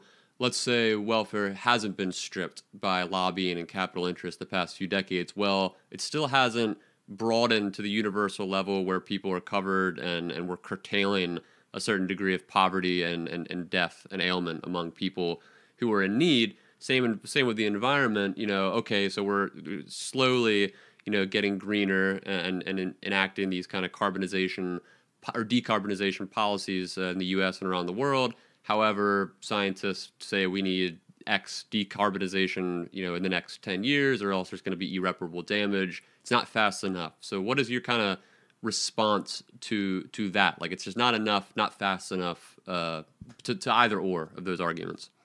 Yeah, I mean, I, I think that the standard, I think that the last thing that I saw was that we have until 2050 to really complete this task of decarbonizing the economy. And a good portion of that needs to be completed by the end of the decade, uh, by 2030. Mm-hmm. For, for one, I'm not really sure why that's the case, but for, that's what I've been hearing, right? That's what I've It's read. probably just Um, like the trend. Like, you know, I, I don't know. Yeah. I don't know. Yeah, for some reason it's not perfectly linear and it can't be. So you know you got to front load a lot of that, right? And um, I don't. I don't really know. So how do I put this? Right. It is understandable to assume that the environmental progress that we've seen, if continued, will not be enough, right? Um, because if we assume that the environmental policy of 2030 will be fundamentally the same as it is in 2020, then of course that makes sense. But what we're assuming is that policy won't change at all, right? Um, Right. The IEA released a, um, and I don't want to quote the numbers exactly because I don't have them in front of me, but the IEA, uh, the International Energy Agency, released a report. They do a, a yearly global energy report. And I think that they said that based uh, what they had was a graph, and it was like based on the announced policies of governments. This is how much like we cover net zero by 2050, and I think it was like 40, 50 percent of the way there already. Don't do anything else, just the announced policies, right? 40, 50 percent of the way there, right? And so I just feel like the idea that like there would be no further subsequent push for environmentalism or, or or in fact no technological advancement in that time doesn't really make a lot of sense. Look at the state of Tesla in 2012. That was 8 years ago. Compare it to today, right? Yeah, it's insane. It's it's an ex- yeah, it's an explosion not only of Tesla but also generally an interest in in EVs uh, across the the world. It's like it's like you know you hear about the uh, the the chicken sandwich wars where like every single fast food restaurant's like trying to come up with the best chicken sandwich ever. Um, there's going to be EV wars that are going to happen throughout this decade. Ford, um, you know, Ford, Chevron, G, uh, you know, GM, right? Uh, all of these companies are, you know, Toyota, Honda, all these guys. Uh, they're all competing right now, spending hundreds of millions, billions of dollars in aggregate to produce the most efficient and best electric vehicle that you can, right? And so, the idea that th- that that you're you're going to see the exact same trend of the last decade into the subsequent decade, I don't really think makes a lot of sense because, in a lot of respects, the market mechanisms by which our economy is governed actually are working, right? Um, and, and and so you know that that's kind of where you know where I would put. It. I saw I saw a job posting. It was today, and I get uh you know I get, I get a I, I sign up for like job emails, right? Like, hey, hey, you know, whatever, th- these jobs are available, right? And I saw that Shell was looking for a, I think it was literally called like a decarbonization advisor, like a guy that you know com- comes in, tells us how to decarbonize, tells us how to be more environmentally sustainable, right? Why would they ever hire that position if the socialist narrative for these companies was even an, an inkling correct? right. Why would they ever? Why would they ever? Why would they ever pay someone? And th- this was a corporate advisor. I'm sure it pays six figures. I'm sure it's got great benefits. Corner office. I don't know. Maybe I'm talking it too up too much. You know. But the point. The point is though is that like, and and some people might say that that's a small thing, but like, it, it's this the, the socialist narrative is so complete and absolute in its thing. Why would they hire these positions? Why would they pay someone 40 hours a week to advise on this if they didn't at least take it a little seriously? right? Um, i- i- it's not to say that Shell is some altruistic company. They're doing that because they feel like government. Their their expectation is that government policy is going to become more and more strict with regard to decarbonization in the future. They want to front load that. They want to get ahead of that, right? If corporations just controlled the government, why would they have that built-in expectation, Right. right? And, and there's and there's So, I mean, the people yeah. demand side of it as well, which is like like you're saying. There's obviously the the more Investor demand, yeah, Exactly. Sure. Yeah, yeah. Which is, I think, I, I I understand the leftist critique of that because obviously it's not something you want to rely on because obviously you can have demand. You know, talk about Nazi Germany, you can have large demand in a direction you don't want the the sort of market to shift in. But in the case of the kind of dance that we're talking about between state regulation and market forces, it is interesting how both of those trends are going in the direction you're talking about, where, you know, people as consumers are driving companies right now to be all these progressive ideals, whether it is, you know, accepting of trans people or, you know, being more environmentally friendly. You know, these are demands being really led by the market.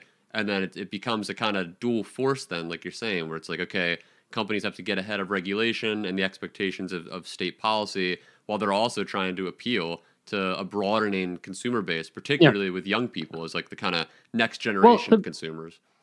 To be clear, though, it's not led by the market. These policy, you know, these these investments in green energy by these oil companies and, and decarbonization efforts by, you know, relatively high emitting companies wouldn't be happening if it wasn't f- foundationally underlined by government policy and democratic sort of public push for these things to be happening, right?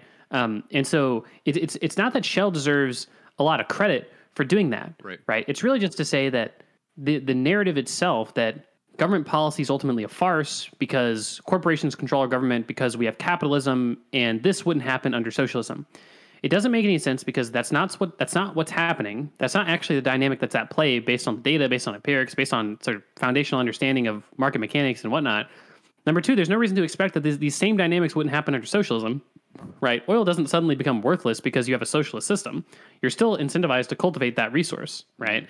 Um, and you know, uh, so it, it just th- that that critique just fails in so many different ways, and um, y- y- you know, it it, it, it can be frustrating because I, I I do remember talking to Vaush about this, and I remember getting a lot of feedback from his audience where the feedback was overwhelmingly positive, but obviously you tend to focus on the the negative feedback, and and the, the, the negative feedback was, um, oh, Econoboi actually expects corporations to do the right thing. It's not what I'm expecting. You're just expecting that the government's always going to do the wrong thing, Right. right? And that's what's not true, right? The, the, the uh, democratic governments, especially these wealthy sort of liberal democracies, standard sort of developed countries, if you look on a map, what's what we consider a developed country, these high income countries, right? Um, that are also democracies, to be clear, they tend to actually be pretty democratic, right? And it tends to be the case that government policy does tend to reflect how people feel, right? Um, sometimes to the detriment of people. Look at Brexit, right? Brexit's not a good thing. Nobody who knows shit about economics or or, or sort of you know has a has a sort of a, a, a good sort of grounding philosophical framework would think that Brexit is a good thing, right? Um, the business elite certainly didn't want Brexit. What what business elite wanted Brexit to happen in aggregate? No. Yeah. All the major donors and all the major corporations did not want to restrict the free flow of goods and services and, and the free flow of people between the United Kingdom and the rest of Europe. That is not an interest that the big business elite had, right? The neo-libs. But people voted. yeah, but but but people voted for it. Yep. And despite the sort of academic wisdom that was saying that Brexit's a terrible idea, people voted for it. Despite the same academic wisdom and donor sort of lobbying that didn't want this to happen, the government did it. The UK is not part of the the, the EU anymore, Mhm. right? Despite all of all of that being true. And so, you know, it's it's and that was an extreme example where the institutions at play very very much almost almost universally did not want this thing to happen. Like whether you're a right-wing business person or a left-wing business person, nobody wanted Brexit Yeah. if you're in that group of people, right? Um, and, and- but it still happened, right? And so I don't know. I just I, I think that the lack of faith in the institution of democracy, especially in countries with very well developed institutions, um, is wrong, right? And I think that capitalism as a means to pro to to generate wealth and government as a means to distribute that wealth and ensure that it's it's it's it's it's created in an equitable framework is that it's just a pretty good system, right? So that's why I, I just I really I don't like the idea of of um, you know we we have our our system is so broken that we need to overthrow it with this other system. I don't know. It just doesn't make sense to me. Our Right. system's actually working out pretty okay. And I think that speaks to another largely counterproductive and inaccurate uh, claim or issue that leftists have gotten into the trend of online, which is this whole anti voting sentiment, which is really frustrating because it reminds me I went through this kind of uh, annoying enlightened centrist phase in like 2015 for like, I don't know, about a year. And I remember it was terrible. It was Cringe. very embarrassing, very cringe. and I remember uh, looking back, speci- I can think of at least one specifically. I know it was, it was more than one, but I can think of this one time I posted on my personal Facebook page some cringe thing about how, you know, both parties are bad and, you know, like something along the lines of like a both sidesism. And I had several of my leftist friends at the time commenting on it. We got in this big back and forth, being like, "This is such a bad take. You know, both sides aren't the same. Blah blah. Like, you know, this is this is erasing. You know, a lot of the the the power dynamics that we struggle with in culture." And now a lot of those same leftists are doing the both sides meme, and they're saying, you know, both parties are the same.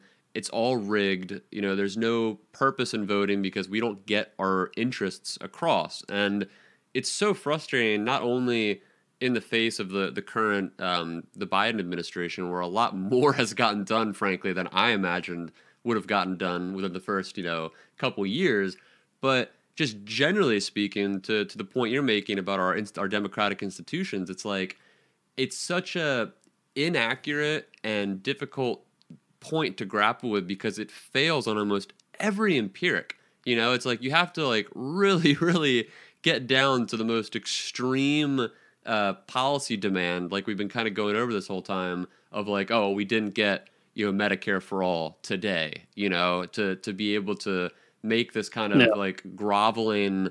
Well, both it, why does voting matter? I didn't get exactly what I wanted, and it's really difficult to to navigate that critique as well. Yeah, just because it's like we try to talk about these specific issues and where they differ between left and right policy prescriptions, and it just feels so discouraging, especially for young people who obviously historically are, are the, the least likely demographic to get out and vote in the first place. And these are the people we need to get out and vote to get across, you know, a lot of these Yeah. progressive policies. So it's been so frustrating, especially the past year, to watch this trend among uh, left leaning people to just really be like, you know, screw voting, man. None of this really matters anyway. Like the climate change is going to kill us all, and we're never going to get Medicare for all. So why does it any of it matter? And it's like, man, that is Yeah. not how you encourage a, uh, a voting base to to get out and, and actually get us the majorities that we would need in Congress to to pass this legislation.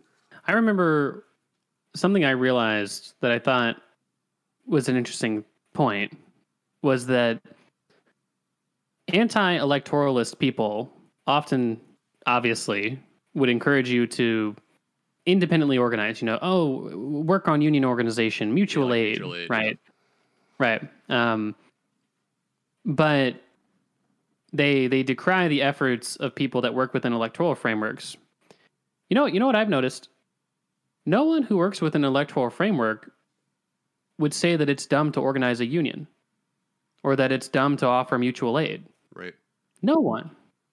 No no one who who who you know knocks on doors or simply goes out and votes or tells their friends to go out and vote or or, or collects signatures for a candidate. None of those people would have a problem with mutual aid or or organizing unions for the most part, obviously.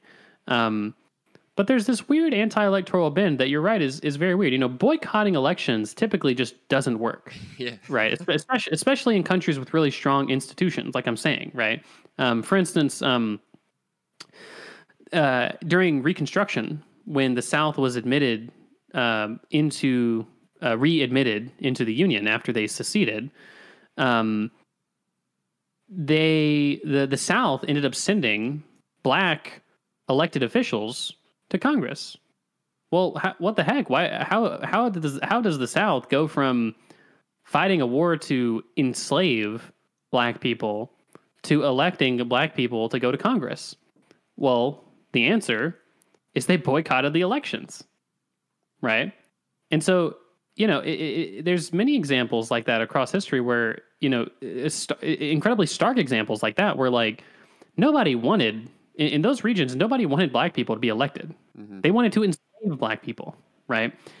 But yeah, like boycott all you want, kick and scream all you want, but this is how we determine who's in the government, right? And because the government has such an ability to move policy and um, and, and and resources fundamentally. I mean, there's no there's no corporation that makes you know four or five trillion dollars a year, right? That's that's what the government collects in taxes, right? There's no there's no there's no corporation that comes even close to that, right? And so you know the the ability of the government to move resources and to enact sort of their will upon people is unmatched, right? The monopoly and violence and just the ability to move uh, parts of the economy and distribute them to other parts is unmatched. And we're lucky to have a democratic framework where we get at least a say in what that looks like. And so uh, the system's relatively effective, uh, and it tends to follow the median voter. And uh, so that's yeah, I agree. It's it is frustrating when people say that you know you shouldn't vote or voting is pointless or it doesn't matter who you vote for. Both sides are the same. It's like literally none of these statements are true. So and um, yeah. you know you will uh, you will continue to be irrelevant to the process by which uh, you have your most criticism uh, because you refuse to participate in it. Um, and uh, unfortunately, whether whether they feel this way or they just don't care to do it, um, tens of millions of people agree with those people. Yep. Right. I mean, we had record high voter turnout in a record like re- in a relative sense. Like we had an incredibly high relative voter turnout in 2020 and uh, it was 67%. Right. So we had, you know, a third of adults um, just, you know, just sat it out. Yep. Didn't, you know, didn't, didn't want to vote for one reason or another, whether it was because it was a principal position they had or because they just didn't care to. So, you know, that is a real problem. Uh, and, you know, all, all you can do is try and push back as best you can and try to show people that the, um, that in, in fact your material outcome is very much uh, uh, changed and reoriented depending on government policies. So you know you should have a, an interest in that.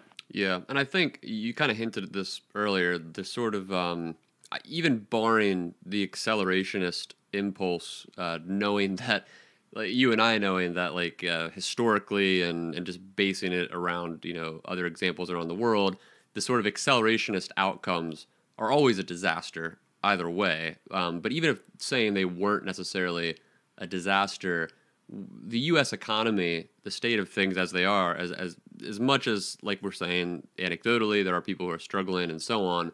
We're just nowhere near a, a, a desperate yeah. state where an accelerationist movement would have any kind of impact on our on our our political yeah. system. Like it's just not even. I mean those yeah, those those accelerationists that thought that Trump would would lead to people becoming class conscious and get socialists elected. You know, who who do we elect in the 18 midterms? Bunch of liberals. Yep. Who do we elect in 2020? exactly. Joe Biden. He did, you know, Joe yep. Biden Bernie did worse. He did worse in the 2020 primary than the 2016 primary. You know? And so it's ridiculous that type of, of rhetoric, accelerationism. It's I, am not sure it's a bore out anywhere. It's certainly not bore out in the United States, right? Turns out when you elect right wingers, they do right wing shit, and then that's it. That's the you, end of the story. Right. How do you yeah, t- kind of removing it one step, so like not accelerationism, but like general populism from like a leftist perspective. How do you feel about populism as a sort of rhetorical strategy, knowing that obviously, like you said, Bernie, both in 2016 and 2020, um, was outperformed by his moderate counterparts, um, but still was able to, to generate a, a, massive grassroots movement. And in many ways, uh, which obviously I know a lot of leftists are still unhappy with, uh, with our, our liberal Biden, but in many ways, Biden and the campaign trail adopted some of those that more populist uh, rhetoric as well. You know, this kind of just we, you know, we're the people, and it's just this this kind of. I know there's extreme versions and moderate versions of you know the kind of like us against the elites or whatever, and that can get cringe on the on the extreme ends. But do you think populism, in any extent, is a viable rhetorical messaging strategy, or do you think largely it just uh, kind of devolves into into chaos or or shitty outcomes. I mean, it's undeniably effective, right? It's certainly a viable We rhetorical strategy. but is it good? Yeah, no, I mean, but that's obviously that's a different question. Yeah, I mean, obviously it works. Um, is it good? No, I wouldn't say so because, you know, when when you find yourself criticizing a generic elite, um, that rhetoric is pretty easily co-opted by bad actors, right? And and that's you know that's not a good thing for you or obviously for society. And so, you know, I don't I don't really like that in general. Um, if you're going to criticize an elite, you know, try to be relatively specific with who you're criticizing, right? And um, if if it's you know like when Trump criticizes the media, he gets a lot of criticism. Um, when left wingers criticize Fox News, they don't get the same kind of criticism right. because you're not criticizing just the entire institution of like d- the dissemination of information, right? Known as the media, right? Um, you know, uh, because that's a lot more authoritarian than than than just criticizing a news channel specifically, right? OAN, Newsmax, you know, Fox News, right? The these these sort of institutions um are are sort of individually criticized, right? It's sort of like it's the difference between like I might criticize Donald Trump, and that's one thing, but if I just criticize the idea of having a president, right? There's there's a whole different sort of set of of connotations that come with that, right? And so I don't really think it's positive, um, and uh, you know to to the extent that it can be avoided and you can still achieve electoral outcomes, it should be um, because you know y- you want your base to support you as much as they can but i think ultimately what you should want is for your base to support you as critically as possible as well right that you don't Like want holding you some accountable, essentially. yeah, I mean, you don't you don't want a a, a you, you don't want people to follow you blindly if you're being, you know, basically if if if you are genuine as an elected official, you shouldn't want people to follow you just blindly, right? Um, because if you've run on a platform and you're unable to get that platform elected, you either have some explaining to do, and it could be very rational explaining. Obviously, like for instance, Biden, very rational explanation is, yeah, I just don't, you know, I don't have the votes, right? there's many dynamics at play. So I don't have the votes for some of the things I, I ran on, right? Um, some things he doesn't have an excuse for, which is another conversation. But with those things, um, yeah, you've got to accept the consequences potentially of people uh, not being inspired to vote for you or otherwise, right? But uh, I think appealing to a sort of ge- generic populist rhetoric can be, you know, quite quite dangerous. Ultimately, it's it's kind of the easy way out for a lot of people, um, and uh, hopefully in the you know, I, I think I think we've seen some sort of general political moderation as a result of, you know, of Trump kind of exposing a lot of the the flaws of that rhetoric, where it's like he's, you know, I'm going to drain the swamp, but then I just make the swamp 300 times larger than it was, Right. or, you know, I'm gonna, uh, you know, I'm gonna. I'm gonna, I'm gonna take on the media, but I just contribute to an incredible polarized media that you know probably was better before I was was in charge, and so uh, you know polarization you know it's it's like fighting fire with fire populism with with polarization so uh, i i think that uh, it's it's not necessarily that we'll see a moderation but uh, maybe in the future we'll see maybe less demand for that type of, of populist rhetoric going forward Yeah. Do you so you, we kind of touched on this earlier, but there's this you got me thinking in terms of um, how largely a lot of these these things we're talking about, whether it be environmental, labor, you know, just general progressive leaning policies that have gotten more much more popular in recent years and, and the kind of which is great, you know, for people in our position of trying to kind of shift the Overton window toward social democracy.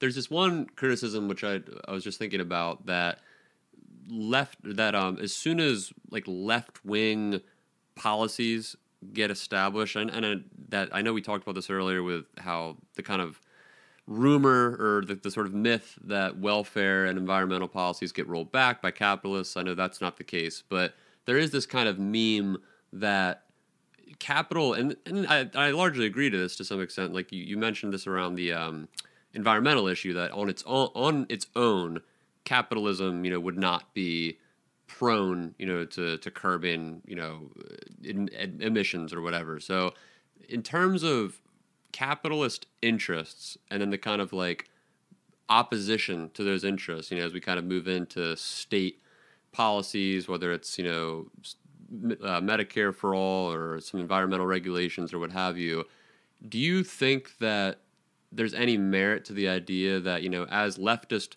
ideas and movements continue to grow, like they have in various points of history over the past century, that capital interests will always fight back even within the sort of social democratic framework. So, like, even if we talk about Norway or any of these the various uh, like countries within the Nordic model, um, is there merit to the idea that like over time, capital interest I mean, there's always going to be that tension there. As long as we exist within a capitalist system, how do we how do you address that criticism? Is insofar as you know we could get all these these problems kind of like I guess one example of this to, to give it some legs. I'm sorry, I'm trying to think through this how I'd frame it, but one example would be I know that um, income inequality is is on the rise. I believe like I don't know if it's for the first time, but it's it's trending in in some of the Nordic countries. I believe currently you can correct me on this point, but idea being you know there's certain things being stripped away or capitalist interests that are kind of fighting back on some of these policies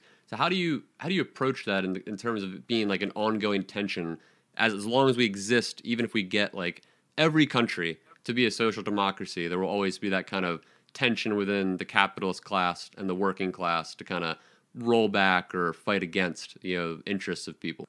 Well, I think that fundamentally what we're talking about is competing hierarchical interests, right, with regard to government policy, right? And those same structures don't go away in a socialist system, right? They just become called different things, right? If, if you had, you know, for instance, if you had a market socialist system where everything was sort of cooperatively organized and there's a social wealth fund that's investing, um, all of us, you know, instead of corporations, it's just the different competing cooperatives that would have right. uh, their own special incentives to uh, bias government policy in their favor, right? You just hope that they wouldn't do that because hopefully your democratic institutions are savvy enough to to deal with that. And over time in the U.S. Um, and in most developed countries, they've been able to to remedy that. Right, the median voter is typically who's represented in a democracy, not the median sort of corporate elite executive or whatever. Yeah. Right, not the median shareholder of a corporation. Right, um, and um, so that, that's how I would counter number one is to say that those same types of pressures would probably exist in almost any socialist system, especially if you want that system to be democratic, right? It's almost more of a criticism of the potential precariousness of democracy, even though that you know precariousness doesn't tend to exist right, um, in vote, countries. In theory, voters can still vote, you know, for issues that would do damage to other people or society at large.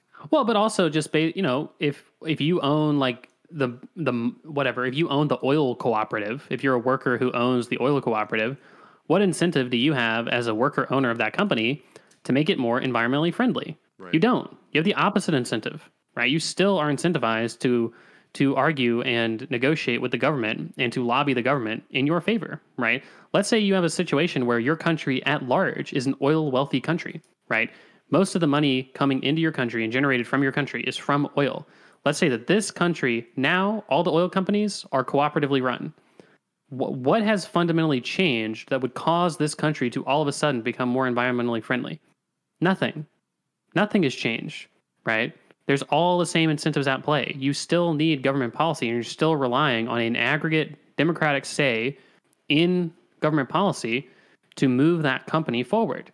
It's the same in a capitalist system, right? That's that's really the, the, the main argument. And until someone can demonstrate to me that, oh, um, you know, at large, our entire government, you know, or even the majority of our government policy is dictated by corporations rather than the generic will or interest of the people, um, then it's it's an unconvincing argument mm. to me because it seems like based on uh, based on the polling data and based on the interests at play and structures of the government, it tends to be the case that the median voter is represented and reflective in policy. There are some exceptions to that rule, seemingly, but um, the relationship between money and lobbying and sort of actual policy outcomes is very tenuous. Um, it's not clear, and um, you know, there's there's smarter people than anyone listening to this or you or I that are working and, and trying to unveil this issue and they haven't really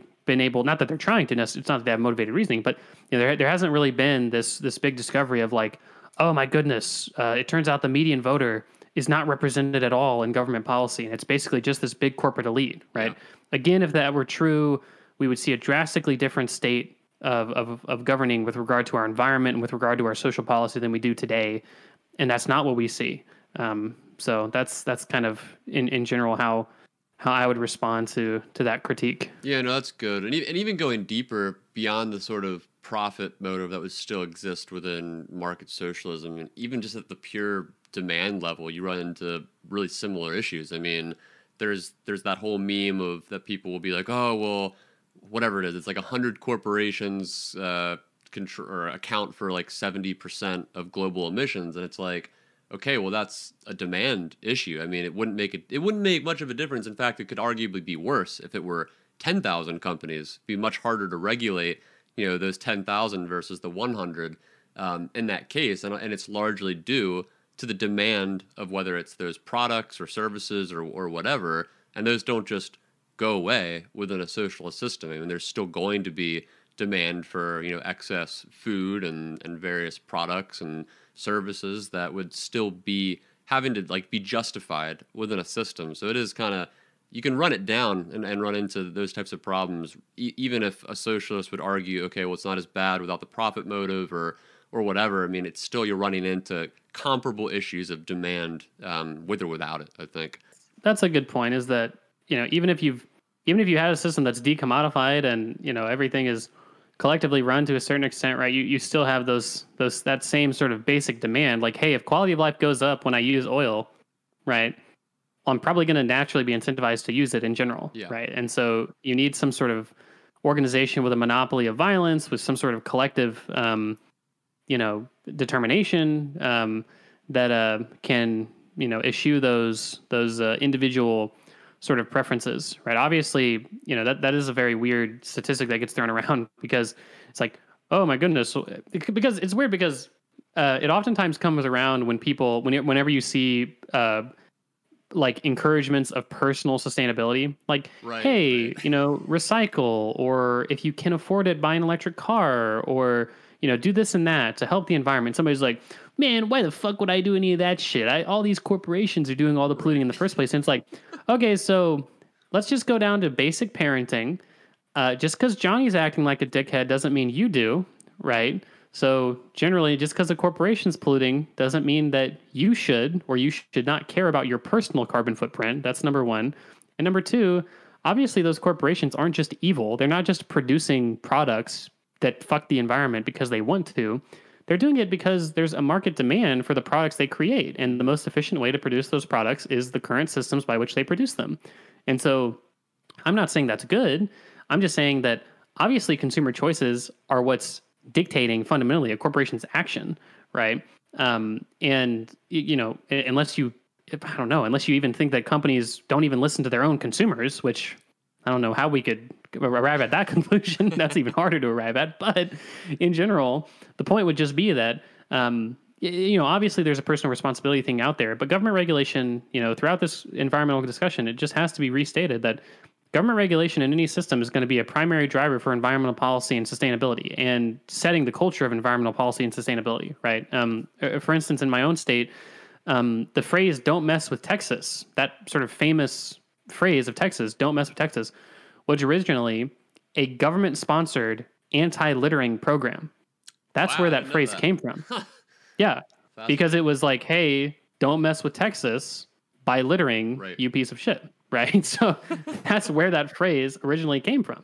So there's there's there's obviously a role for government in either system, um, and it's as an inherent critique of capitalism. I just think it doesn't it doesn't really make a lot of sense to me. Yeah, yeah, I'm with you on that for sure. That was good discourse.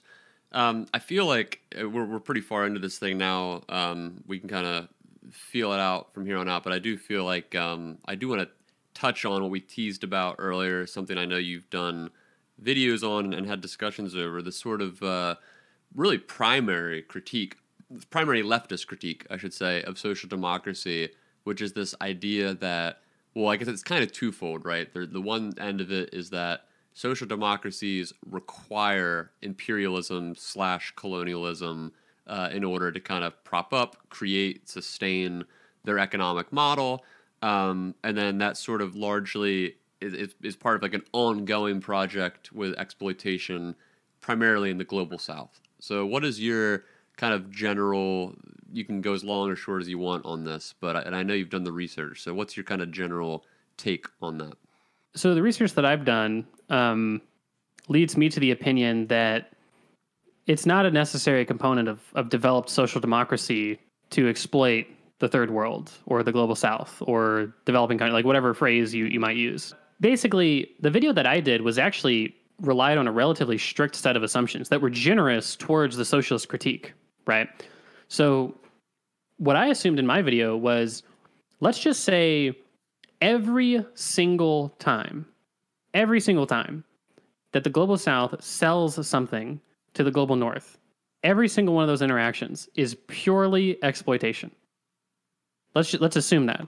That's absurd to assume because you're assuming that there's literally uh, no negotiating power from smaller countries to other countries. For instance, when you know when when Indonesia sells when an Indonesian company sells something to a company from Liechtenstein, like just generally we might assume that the Indonesian the Indonesian company might have more employees than Liechtenstein has people right. for fuck's sake, right? So there's, pro- there's probably some negotiating power, but let's just you know whatever, right? Let's just say that every single time that any country from like the underdeveloped world um, or the low income world sells something to a higher income country, it is exploitation. Okay, we've made that assumption.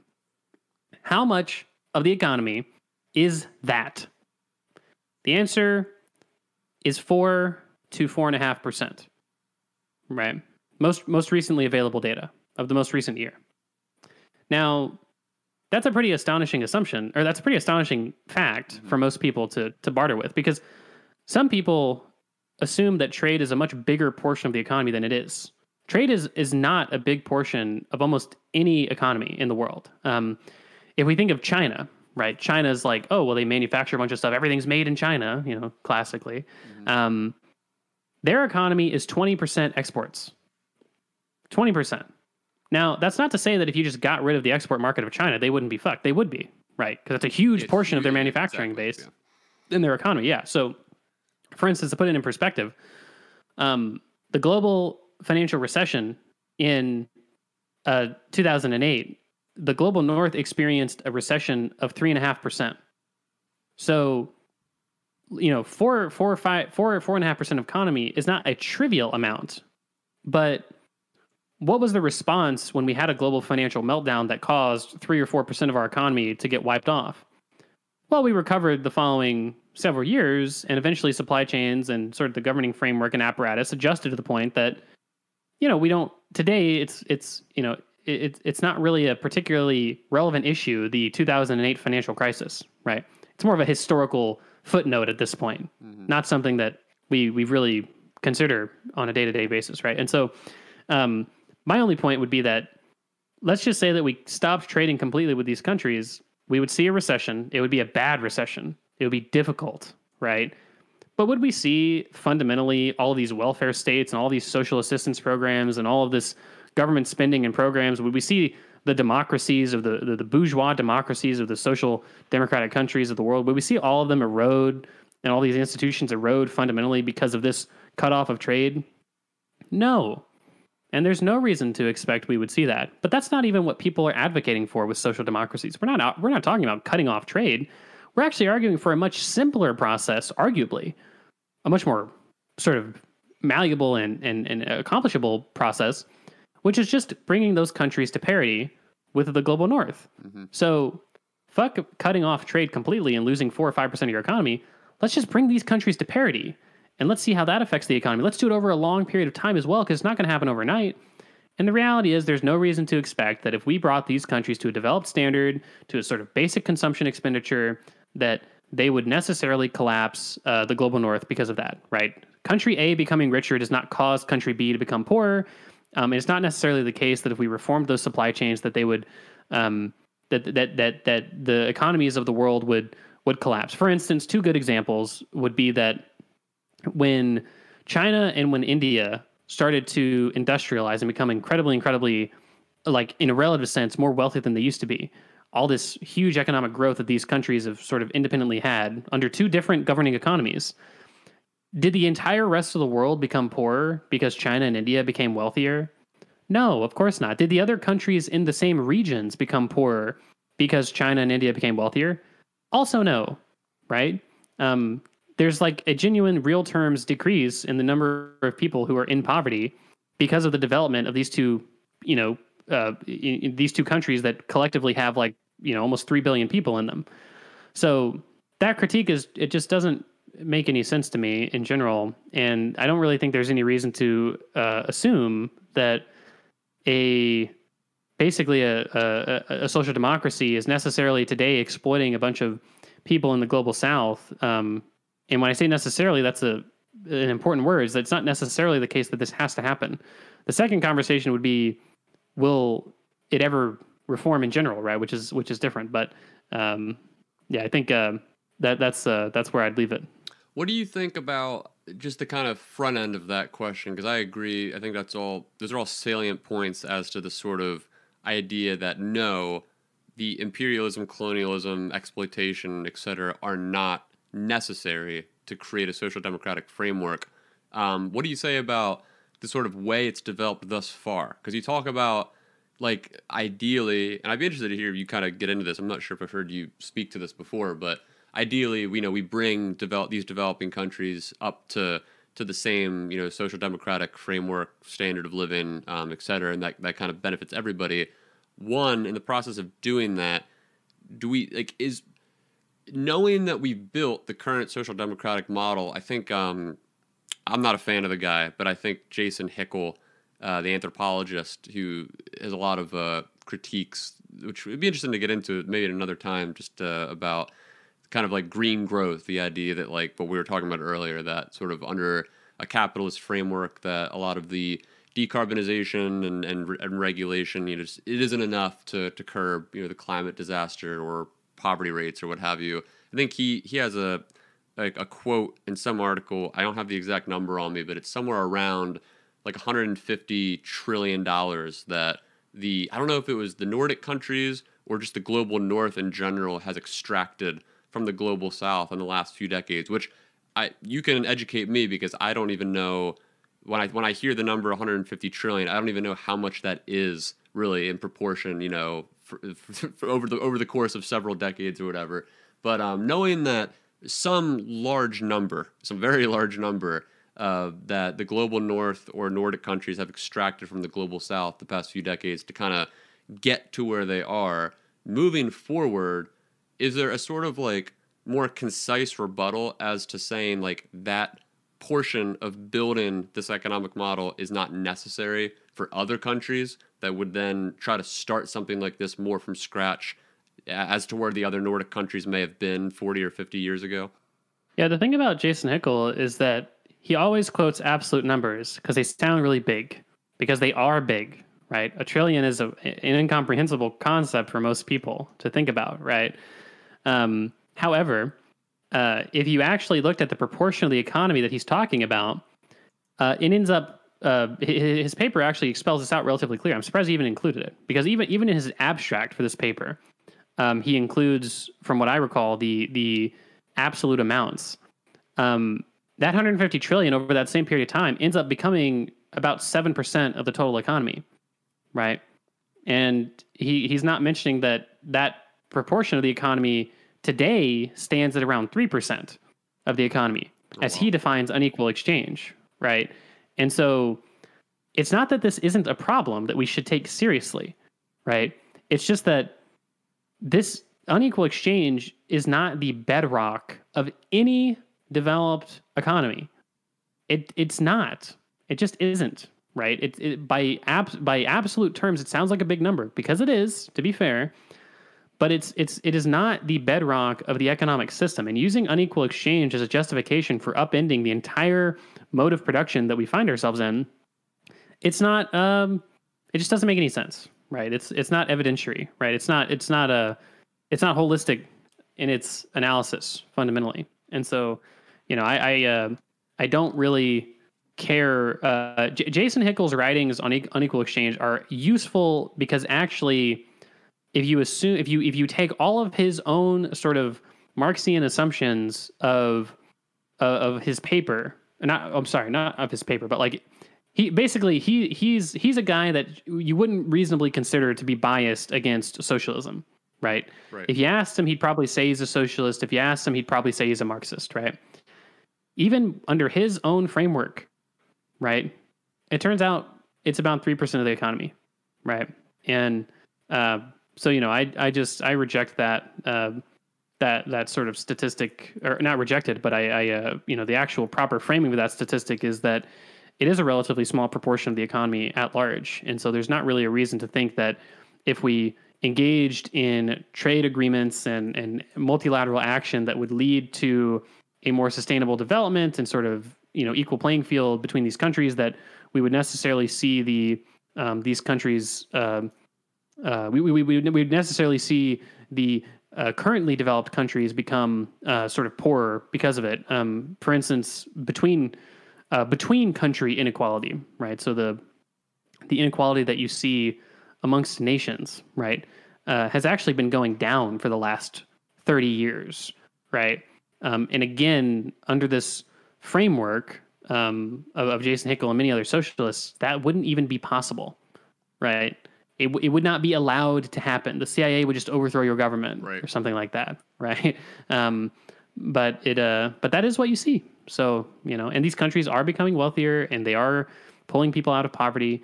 Um, you know, uh, in one way or another. So you know, I, I, that that framing is. Um, is uh, is not it's it's a problem, but it's not a reason to overthrow capitalism, and that's uh, that is true with a lot of the descriptive facts that socialists uh, espouse in their advocacy.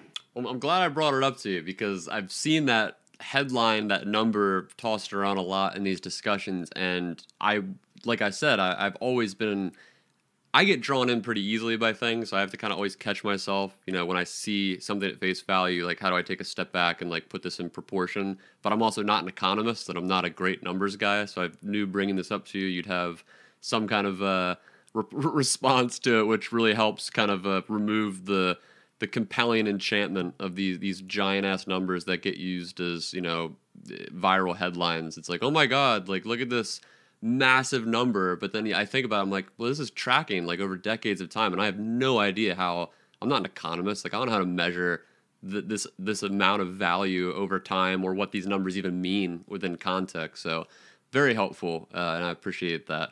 Um, just kind of uh, going off of a lot of these topics, talking about empirical data and economic efficiency, and you know which system, which models um, lead to the best outcomes. I I know that you know you're basing your sort of worldview around like the best available information that you can come across, but obviously, I from messaging you before all we had this conversation, just some of the the rough ideas of what I wanted to talk about with you.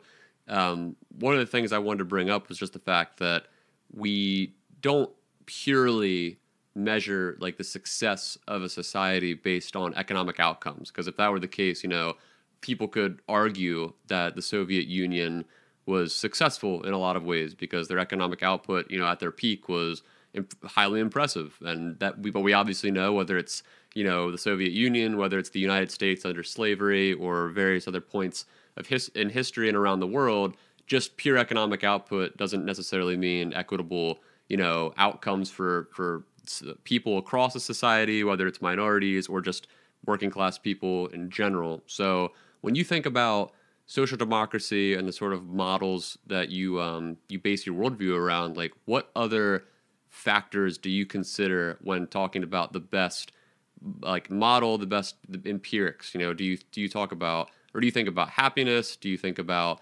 um, income inequality like what are some of the other factors that you consider outside of just pure economic outcomes um, when you think about that I would say um, I, I think the Human Development Index is something I looked into that I think has some decent metrics in there. So like you might look at access to electricity, access to uh, years of education, quality adjusted life years, infant mortality. Um, you know, uh, what's it? What's the um, uh, it's it's not a it's mortality associated with um, childbirth. So oh, infant mortality. You know, well, no, but infant mortality is when the children die. I'm talking about when the mothers die. I, am not mm. sure if there's a different word for it, but you know that that sort of healthcare, um, you know, st- stuff like that. Access to a, a, primary care physician. You know, there's there's all kinds of different things that you can look for that. Um, uh, maybe maybe it's called maternal mortality, but there's all kind of different things that you can look for to try and assess sort of basic quality of life of people outside of just GDP. I mean, GDP is the final cost of goods and services, right? That's what it is. And on a per capita basis and in an aggregate basis, it's not necessarily the case that when that number goes up or when that number is high, uh, the quality of life of citizens is going up uh, generally, or if or necessarily that, that that growth, apologies, is equitable in nature, right? So it's uh, it is important to look at those more uh, th- those those other sort of basic things that uh, that are important for day to day function that uh, people should should hopefully uh, you know should should hopefully account for in, in their analysis for like is this system at large a good system? Um, and is uh you know and, and if, if if you don't see those metrics panning out uh, under your system um, is it a problem with the system itself or is it rather uh, an adjustment of the system that needs to be had yeah yeah i think that that all makes sense. I didn't even like i'm an, I'm an idiot. I should have considered you know some of those more you know baseline you know access to to food water electricity and all that. That's those are pretty important i guess on the, on the broader the broader scale. I'll have, to, I'll have to look into that index um, later on. Well dude I, I really appreciate you uh, taking the time to have this conversation with me and kind of break down some of these talking points and, and just general arguments. Um, i guess just to to wind down here um, when you look at the because you're in the U.S., I'm in the U.S. You know, when you look at the current political landscape of where we're at with you know whether it's the Biden administration or the next you know five to ten years, you know, what are I guess like a handful, you know, whether it's two, three, four mainstay policies that you're that you think are like both pragmatic but also you know like great enough to to really like put a dent within our system to kind of move it in the direction of social democracy? Um, do you have like, and I, I don't mean like generally, I mean, obviously, you know, we all want some kind of healthcare, but do you have like a specific model or policy around healthcare or education or any of these other areas that you um, you feel strongly about? Yeah, I think um, I think it's becoming more and more excusable every single second that we don't have some sort of universal healthcare in America. Um, and I would say that kind of a top priority for me personally would be a public option healthcare. I think that that's pragmatic. I think it's more likely to get passed than single payer healthcare. It would still have an incredible benefit. We have a framework for that policy already. So obviously, a public option in this sense could just be, hey, if you want to buy into Medicare, you can. Yeah, just expanding right? it. Right. You know exactly. So, um, and that's uh, something that I think could get passed. I think it would be wildly popular. I don't know who would be against that. Yeah. In ter- like I don't know what real fucking human being would be against that. Is what I'm trying to say, right? Obviously, the Rand Paul and Ted Cruz's of the world are against that kind of thing. Right. But um, you know, I think once you explain it to most people, most people would actually be pretty down with that. And uh, so I, I would personally like it like that to be seen as a policy push. I think that was a big blind spot of Biden in his first year was um, hey, you're just coming off the back of a big healthcare crisis. Maybe you know that public yeah. option should have been a, a bigger push. Um, at least that's my my view. But he he decided to focus more on infrastructure, and that's I mean whatever. Every you know they all have their own shit that they do, whatever. And um, so that would have just been my thing though. I think that would be the most transformative thing. Actually, um, w- when is this podcast going to be released? Oh, ASAP, probably the next uh, couple days. Okay, so I won't. I can't come out with uh, well, based on saying this, I cannot come out with a an official endorsement, of course, but my uh my policy tournament is down to the final two policies. It's been six, seven weeks, 128 policies in this policy tournament, and um, we we are down to two, and it is public option versus net zero emissions, Ooh. and uh, public option versus net zero by 2030, which is what some people have a problem with. You know, a lot of people like me might say, um, "I love net zero, but by 2030." super unrealistic. Short term goal, public option makes way more sense, right? Just, and just um, pragmatically, yeah, yeah, and um, it is uh, it is super duper crazy close 48 to 51 or 48 to 52 right now retweet it if you can advocate for whatever you want but um, you know uh, i don't know when this podcast will be out Ho- hopefully i don't bias the results but yeah I, uh, i'd be more uh, really more of a public option guy generally myself uh, in, in terms of the, those two options and that's the one that I would really focus on. Other than that, I mean, it's it's hard to say. I would say other than that, I'm a huge worker board membership guy as well.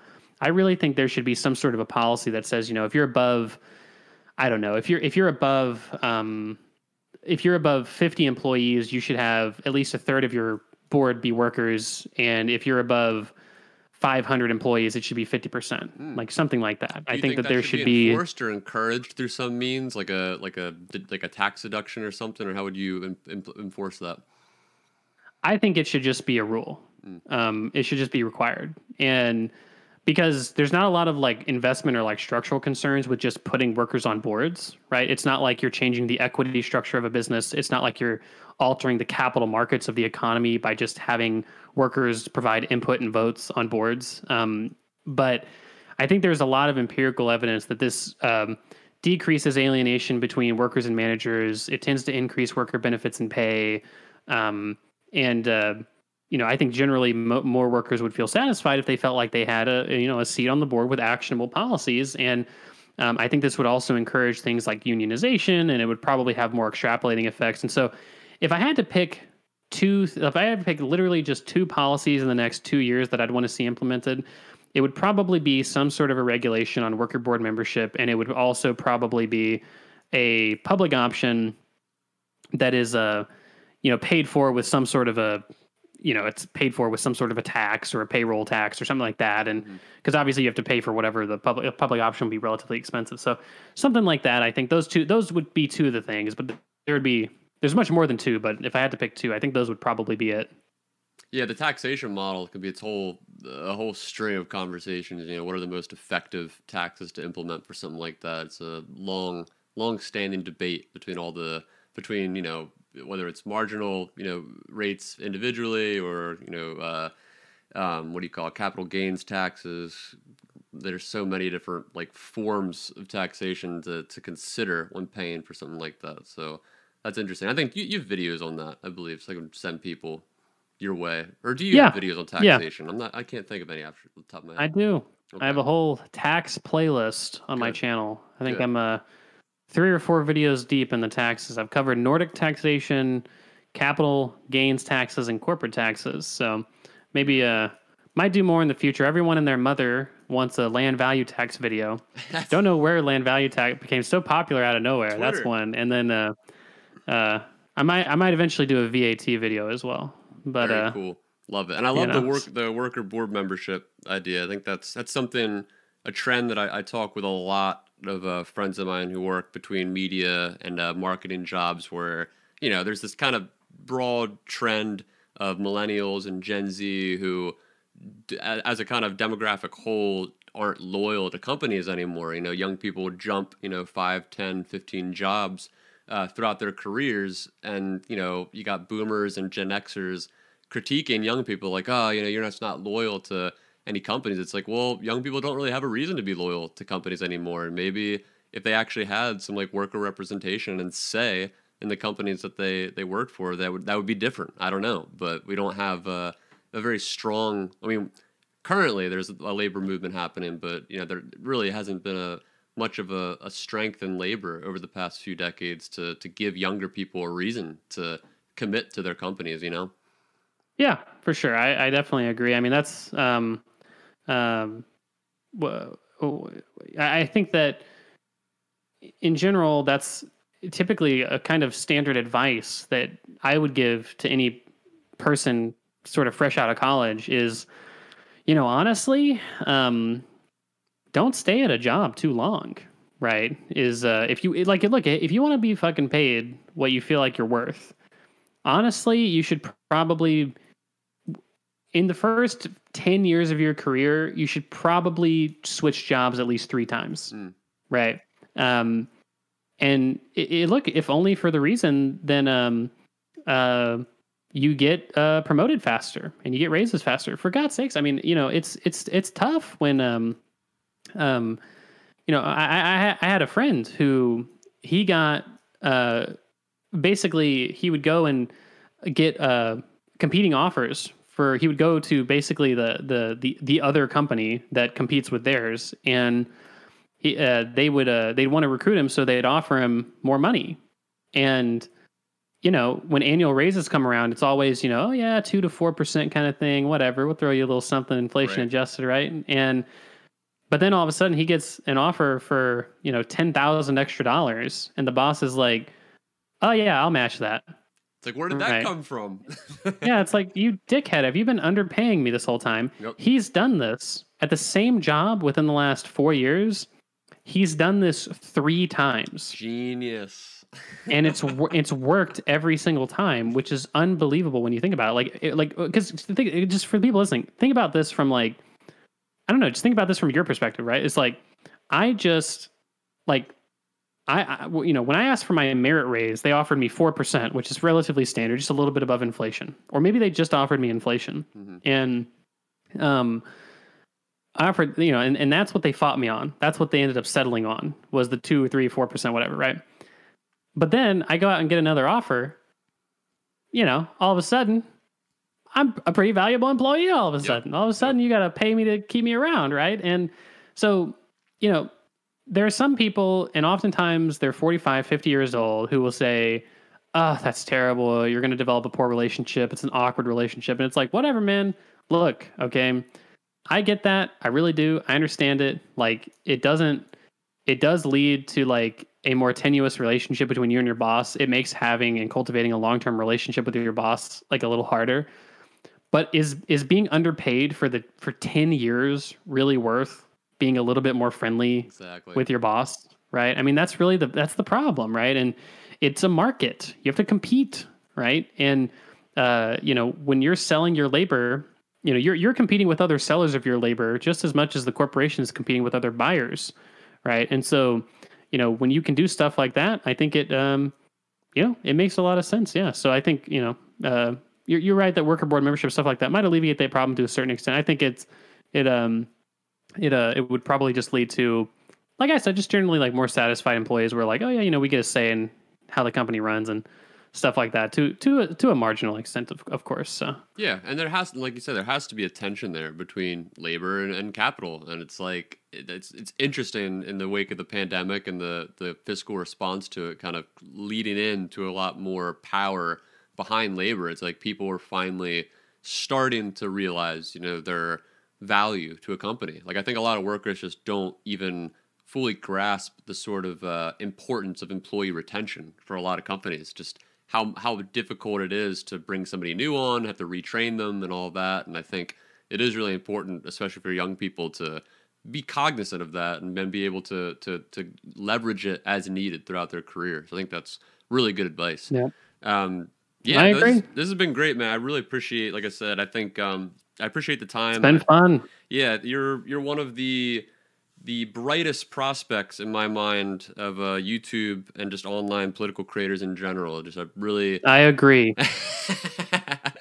I just I I greatly I, I think that you're your sort of uh, combination between like empirical data and like and wit and ability to kind of roll in the mud sometimes with some of these more debater style, you know, extremely online types, which kind of you know a lot of these guys drive the culture. And I think your willingness to engage with them across the spectrum and lay out your uh, your ideas um, primarily for social democracy are just it's great. It's much needed in the space, and uh, really really appreciate you not just taking the time to talk to me, but taking the time to kind of go through each of these issues and have an actual thought process that you've you know considered research and it's not just something that you know you read a couple articles about and you're like oh yeah i've got i've got this very strong opinion on this because i'm an Yeah. idiot and most people like me are idiots you know like and i just mean, i'm joking but like lay people you know like i'm not an expert in really any of this stuff i just i do my best to follow the most